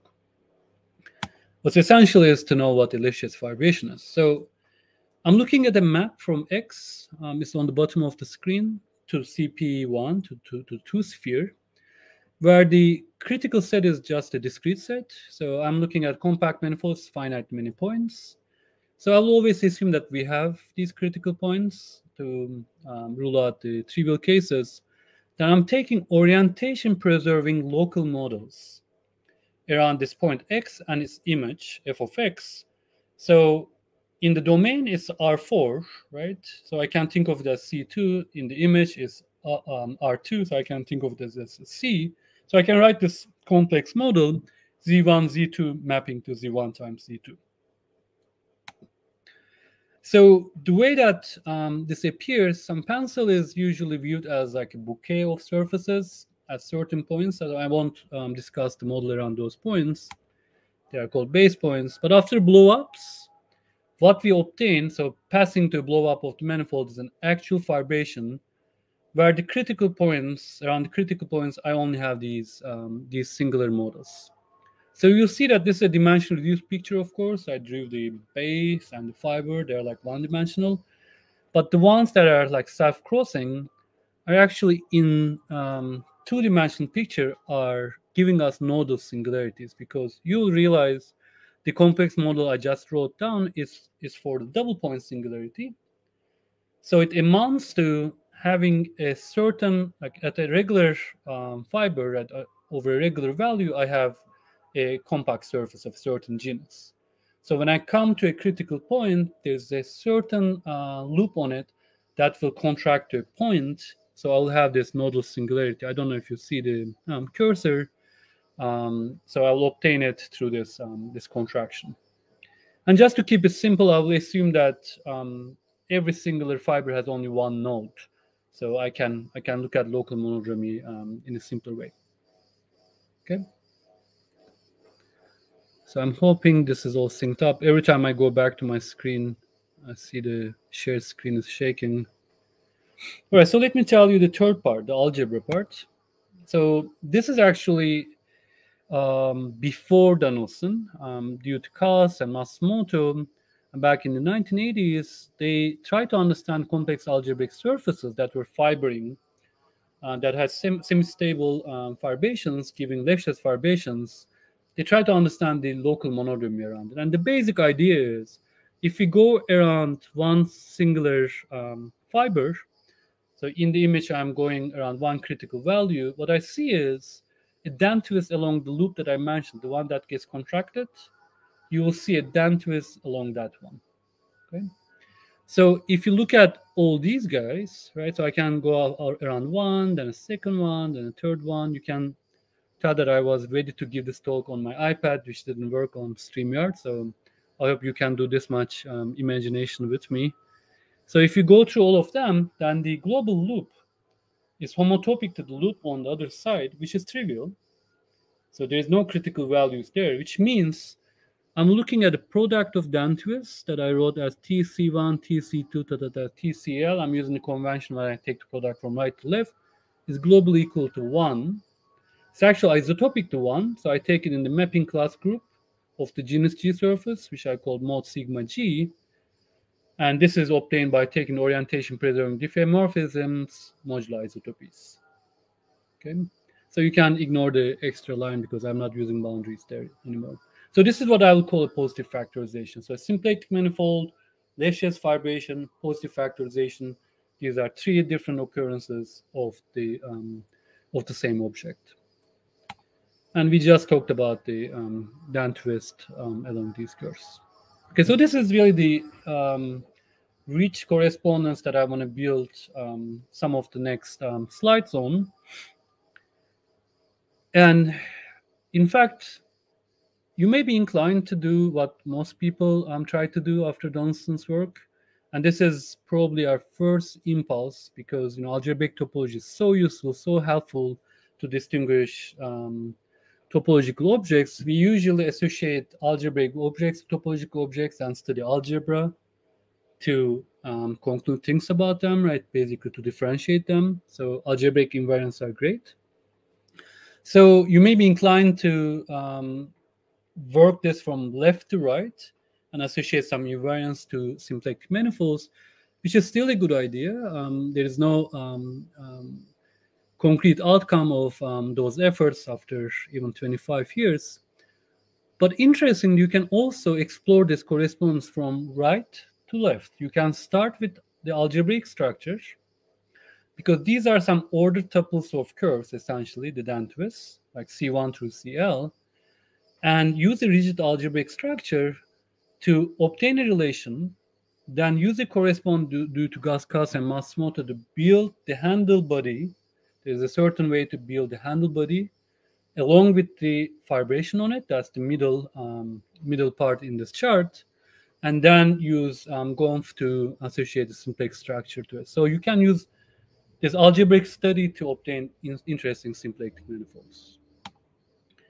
So here are two examples, and then I will tell you, um, you know, some of the things that um, more recently we were able to accomplish using um, this this approach, this, this, strategy I just outlined.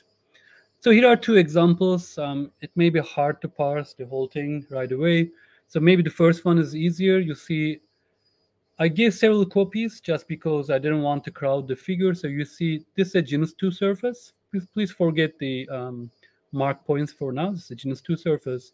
And I have seven different curves on it. So they have names. And this gives me a product of seven Dehn twists. And I claim that this is actually equal to 1 in the mapping class group of genus 2 surface.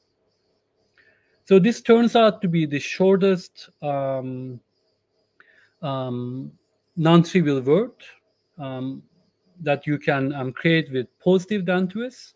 So right-handed is positive, left-handed would be negative, and this orientation compatibility I mentioned. Remember, we use locally orientation preserving charts gives you always positive Dehn twists. It turns out it's the smallest genus 2 surface, genus 2 Lefschetz fibration. It's a, this is a positive factorization I discovered with my collaborator, uh, Mustafa Korkmaz. So the one you see on the right is more elaborate. This is a genus 5 surface. So the factorization takes place in, um, in, in genus 5 mapping class group. So here there's 26 vanishing cycles. So the, the labels are obvious, so you follow the order. And when you look at this product, again, I claim that this identity, discovering this is, of course, um, even more work. And this is um, from my work with um, joint with Noriko Hamada, um, who is also um, he was a PhD student of Osamu Saeki that we are honoring today. And in this in this um, construction with Noriko, we came up with this beautiful example where you can see combinatorially an exotic creation surface.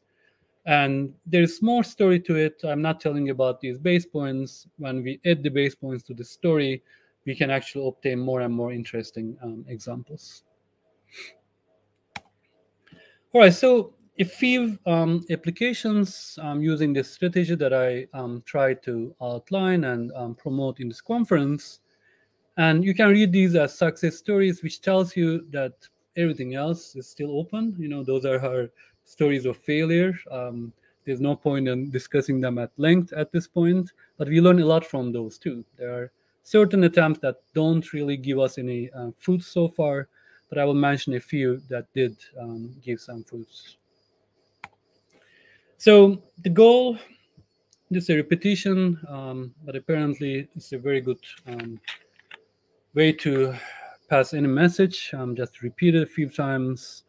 So we are trying to develop these techniques to generate positive factorizations, the algebraic side of the story, that will correspond to interesting um, symplectic four manifolds through Lefschetz fibrations.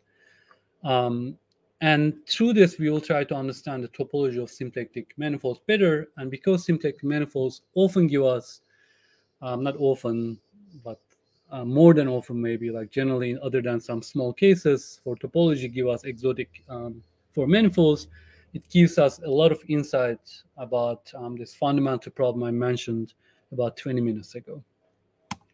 So here are some outcomes um, that I want to mention.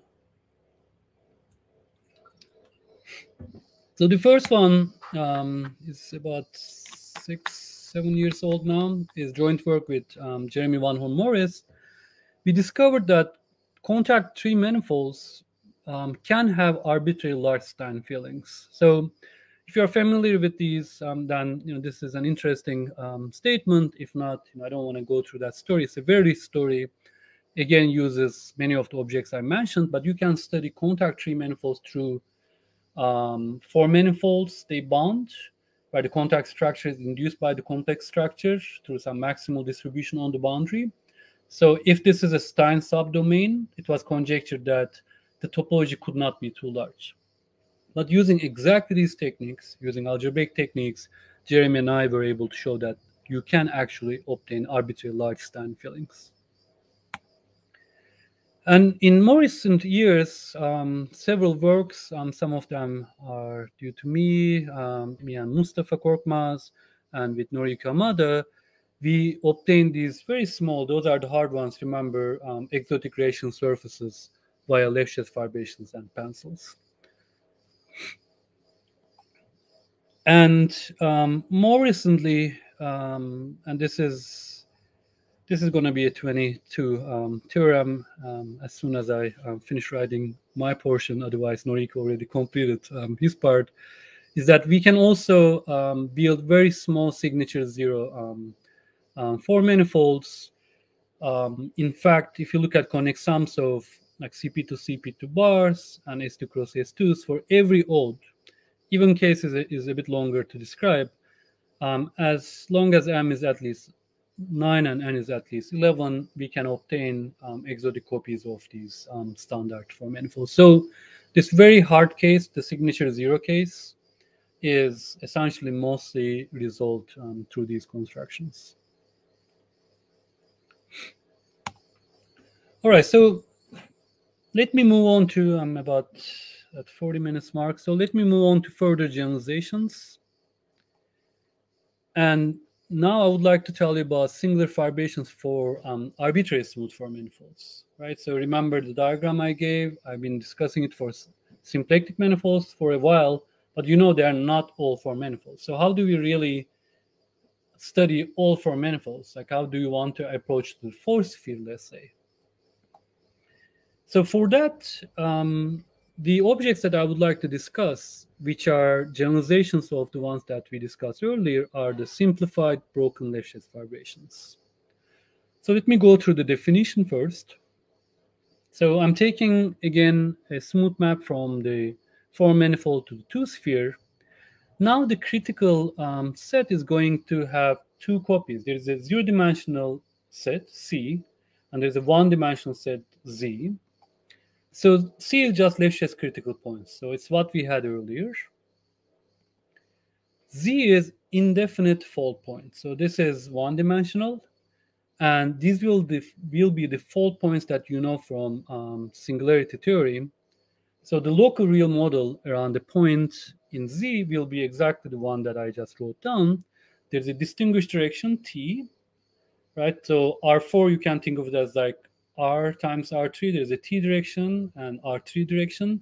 The X1, X2, X3 coordinates in the image, this is again a copy of um, R2. There's the distinguished T direction, and there's a quadratic form in X1, X2, X3, which has index 2, right? There's two negatives um, for this quadratic form. So the local model, um, I don't know how visible it is in big screen, large screen. I hope you can see it. In the base, if you look at the image to be embed embedded for this um, fold, there's, there's a family of them, T parameters, right? So if we go across that blue guy, what you see is what happened with the nodal singularities in the complex model. Now I have a real model. Before, so I contract this loop. Right? Once I contract it, once I go across, you know, I, I separate along those. There's, there's, there's this kind of surgery that you do, but it's, it's, a, it's, it's, a parametrized surgery. It happens every time you go over that blue curve. So there's an S1 family of them. So this is what I call indefinite fold. Indefinite because the index is 2. Of course, this is not very sensitive to orientation. It could be 1. It's just the direction. But it's not 0 or 3. So a few extra things that I want. I really want them to be able to simplify the topology. Otherwise, we can have a very complicated map, in fact, a huge mass. And this is usually what you get if you deal with arbitrary generic maps. I want F to be injective on the critical locus. Um, I want all the fibers to be connected. Like if you see that surgery, let's assume that that red curve was actually non-separating. And Z will be connected. So there's only one indefinite fold. Observe that empty set is connected by definition. So it could be a Lefschetz fibration if Z was empty. And this last one will make more sense um, once I show you a schematic picture the Lefschetz singularities that we have, I'll assume all of them are on one side of this indefinite fold. Like in this picture that you are seeing, they'll be on the left. I'm hoping the next one is that one. Yes, this is a good picture. So in this picture, you see everything that you need to see. The, the equator, the blue curve is the image of the indefinite fold.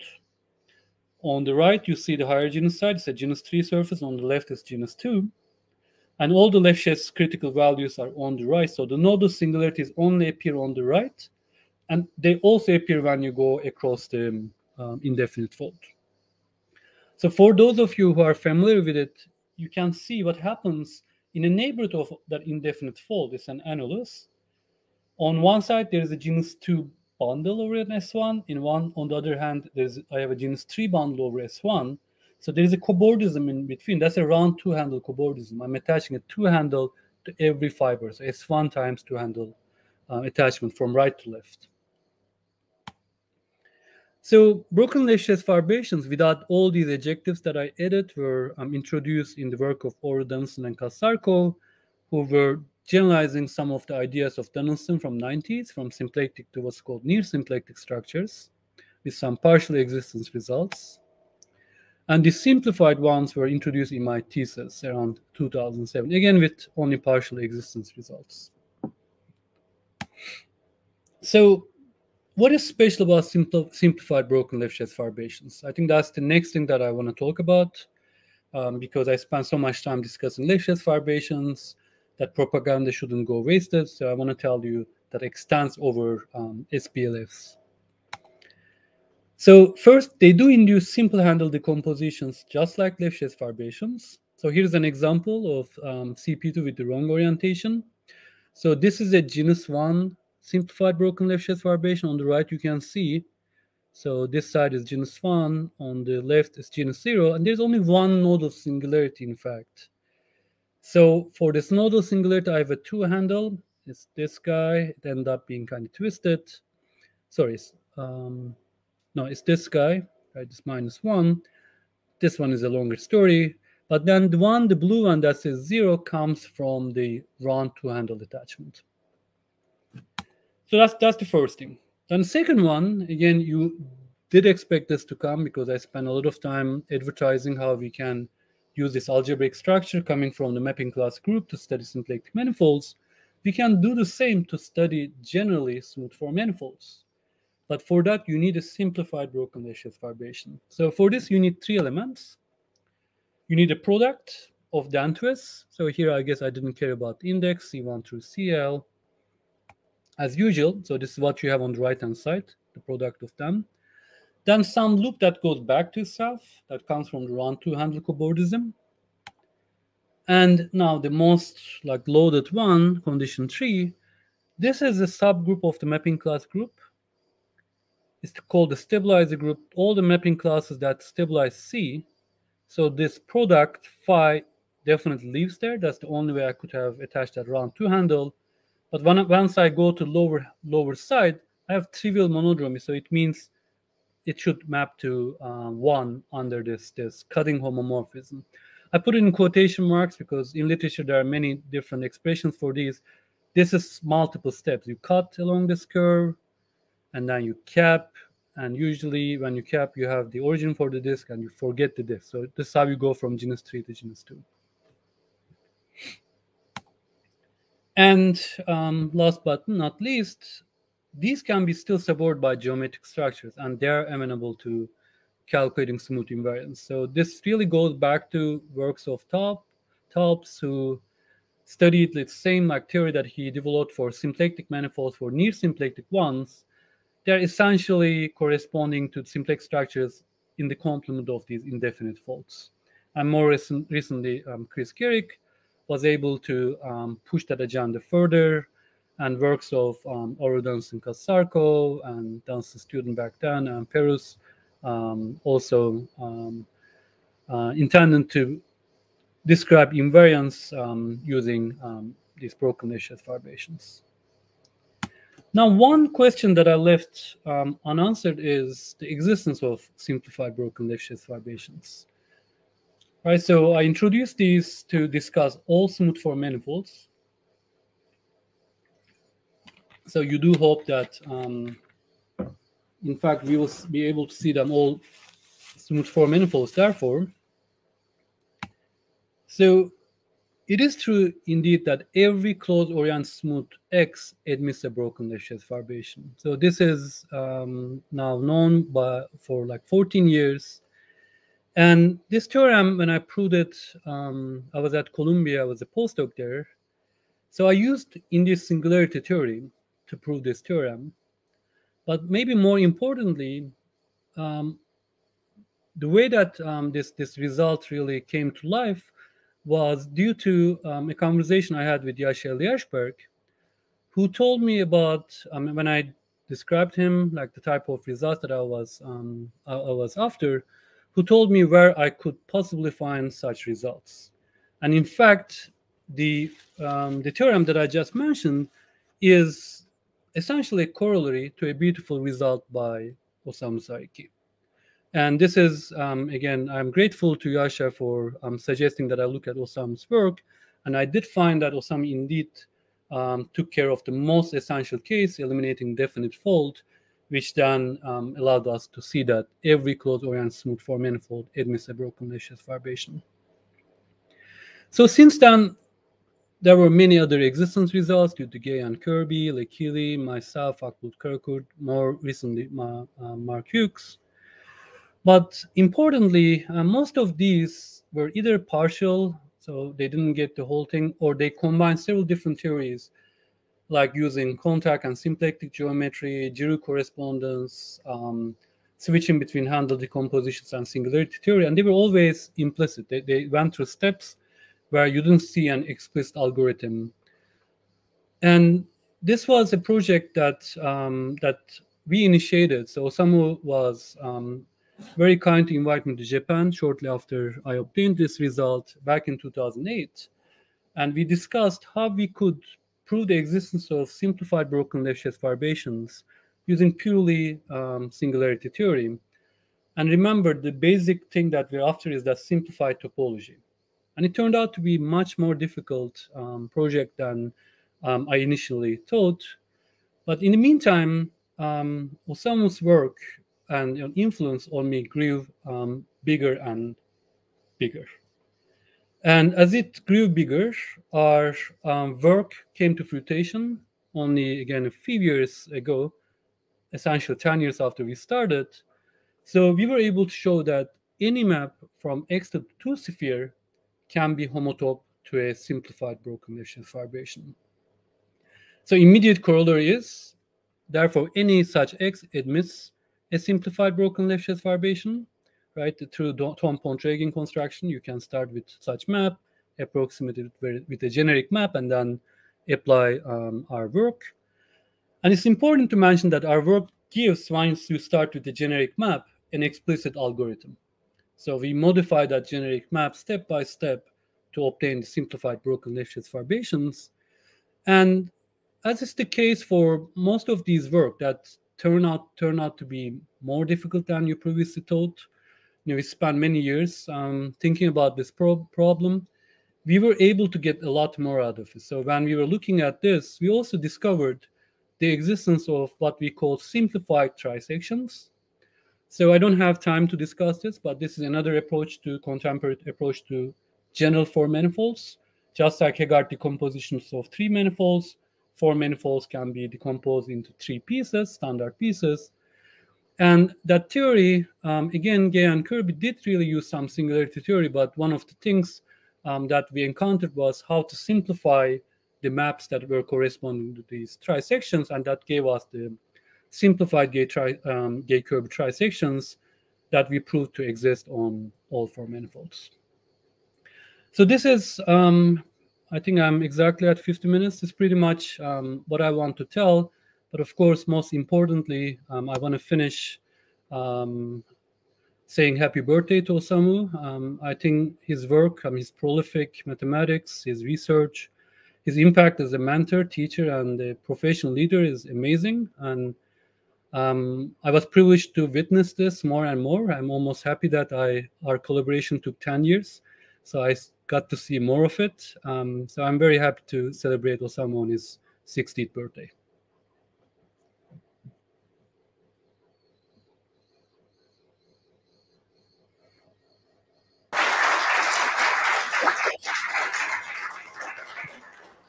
Any questions?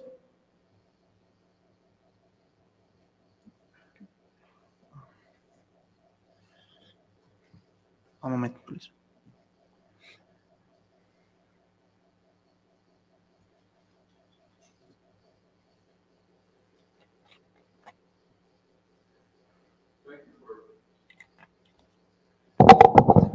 Thank you for a very nice talk. I- was wondering if you could say anything about the obstacles you had to overcome in your last theorem with uh, Osamu, that you uh, can uh, homotop any map to a sphere to an SPLF. Um, the very last theorem with Osamu, right? Um, so did I did I hear the question right? I just want to make sure. Is the very last theorem I mentioned with Osamu? How did how did the proof go? Yeah, what was the last theorem that where you said that you could homotop a map to an SPLF? Okay. Um, so I mean, it has multiple steps. So the first one is, you know, we start with the generic map. And then, you know, in the generic map from a four manifold to a two manifold, what we have is these cusps and um, folds. So one of the um, early things that we do is we get rid of the definite folds, definite case. And this is essentially going back to Osamu's work. And then we are left with indefinite folds. And of course, there are indefinite cusps we still have. So the next thing is um, these indefinite cusps. In fact, we can leave it to the end, but I, I, want to mention that crucial step early on.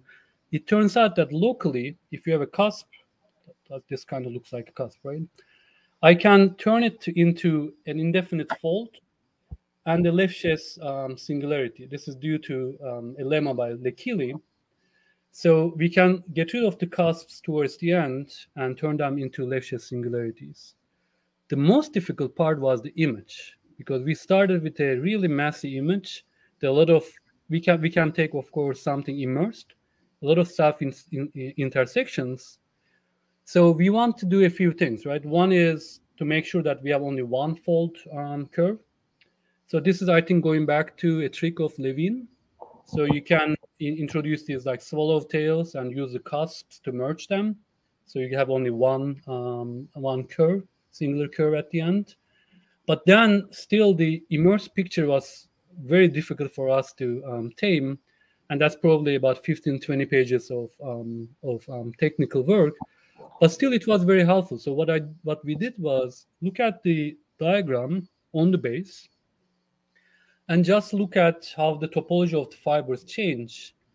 And we realized in some cases we could do these kind of Reidemeister moves, like R1, R2, R3 moves. In some cases, you may or may not be able to do. So the cases we can do, we call them allowable moves. So we only looked at the base diagram and we changed the map, the topology therefore changed for the fibers through those modifications, local modifications and um, we, we we have maybe two three different um, algorithms to to to put everything in place through these what we call allowable base diagrams we turned the immersed guy into an embedded guy then made sure that um, the fibers were all connected and such so this is I, I think this is this is the summary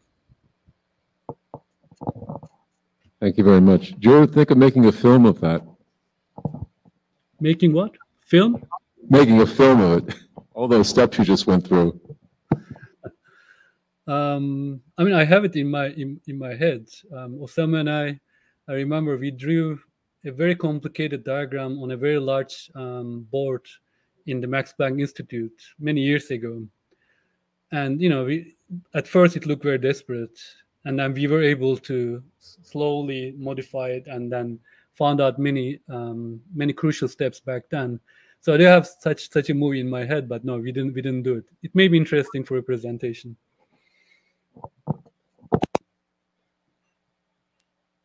Um, since we start five minutes later, I think we have time to other question. Uh, any other question?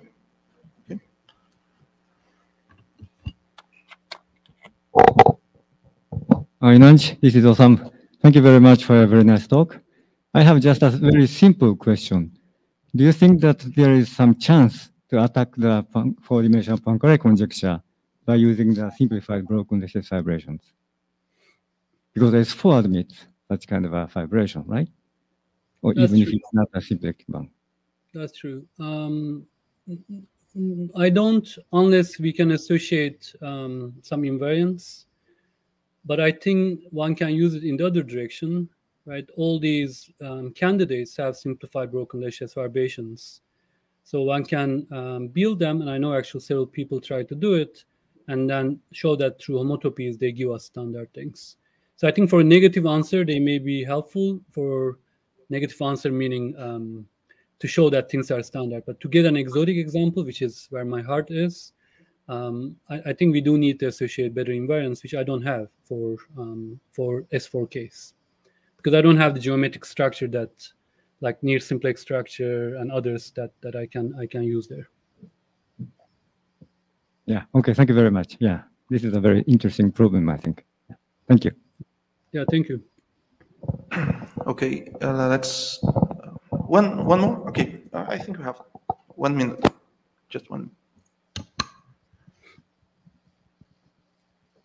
Yeah, maybe a very naive question from more or less an, an outsider. So uh, you mentioned this K3 example, which is an example of an uh, algebraic hypersurface, right? Mhm.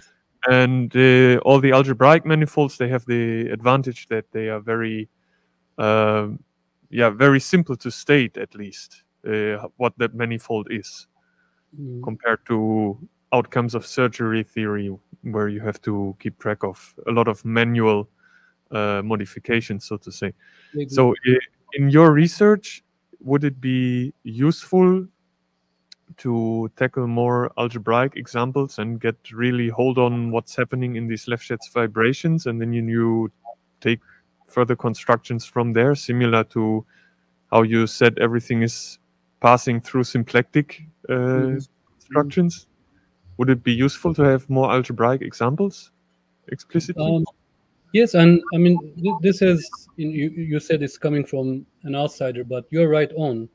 So, in the study of four manifolds, we look at complex algebraic surfaces a lot because, as you said, they are very rigid. We understand them better.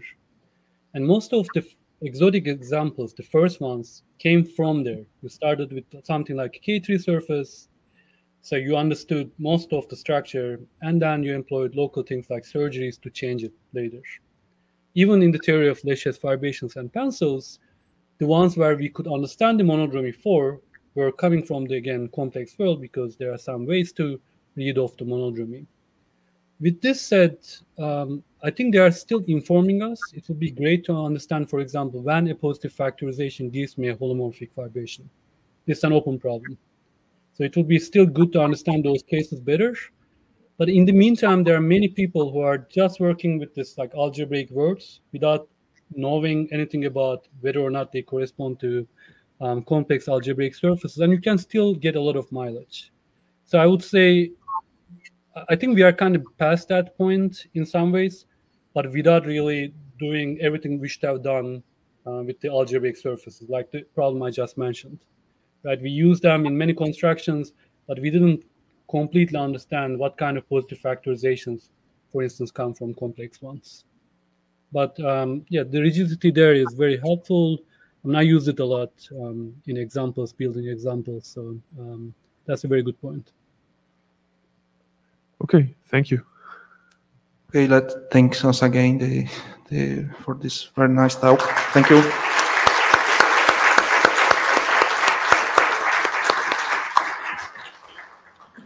Okay, I think it's time to to have lunch, Joaquin.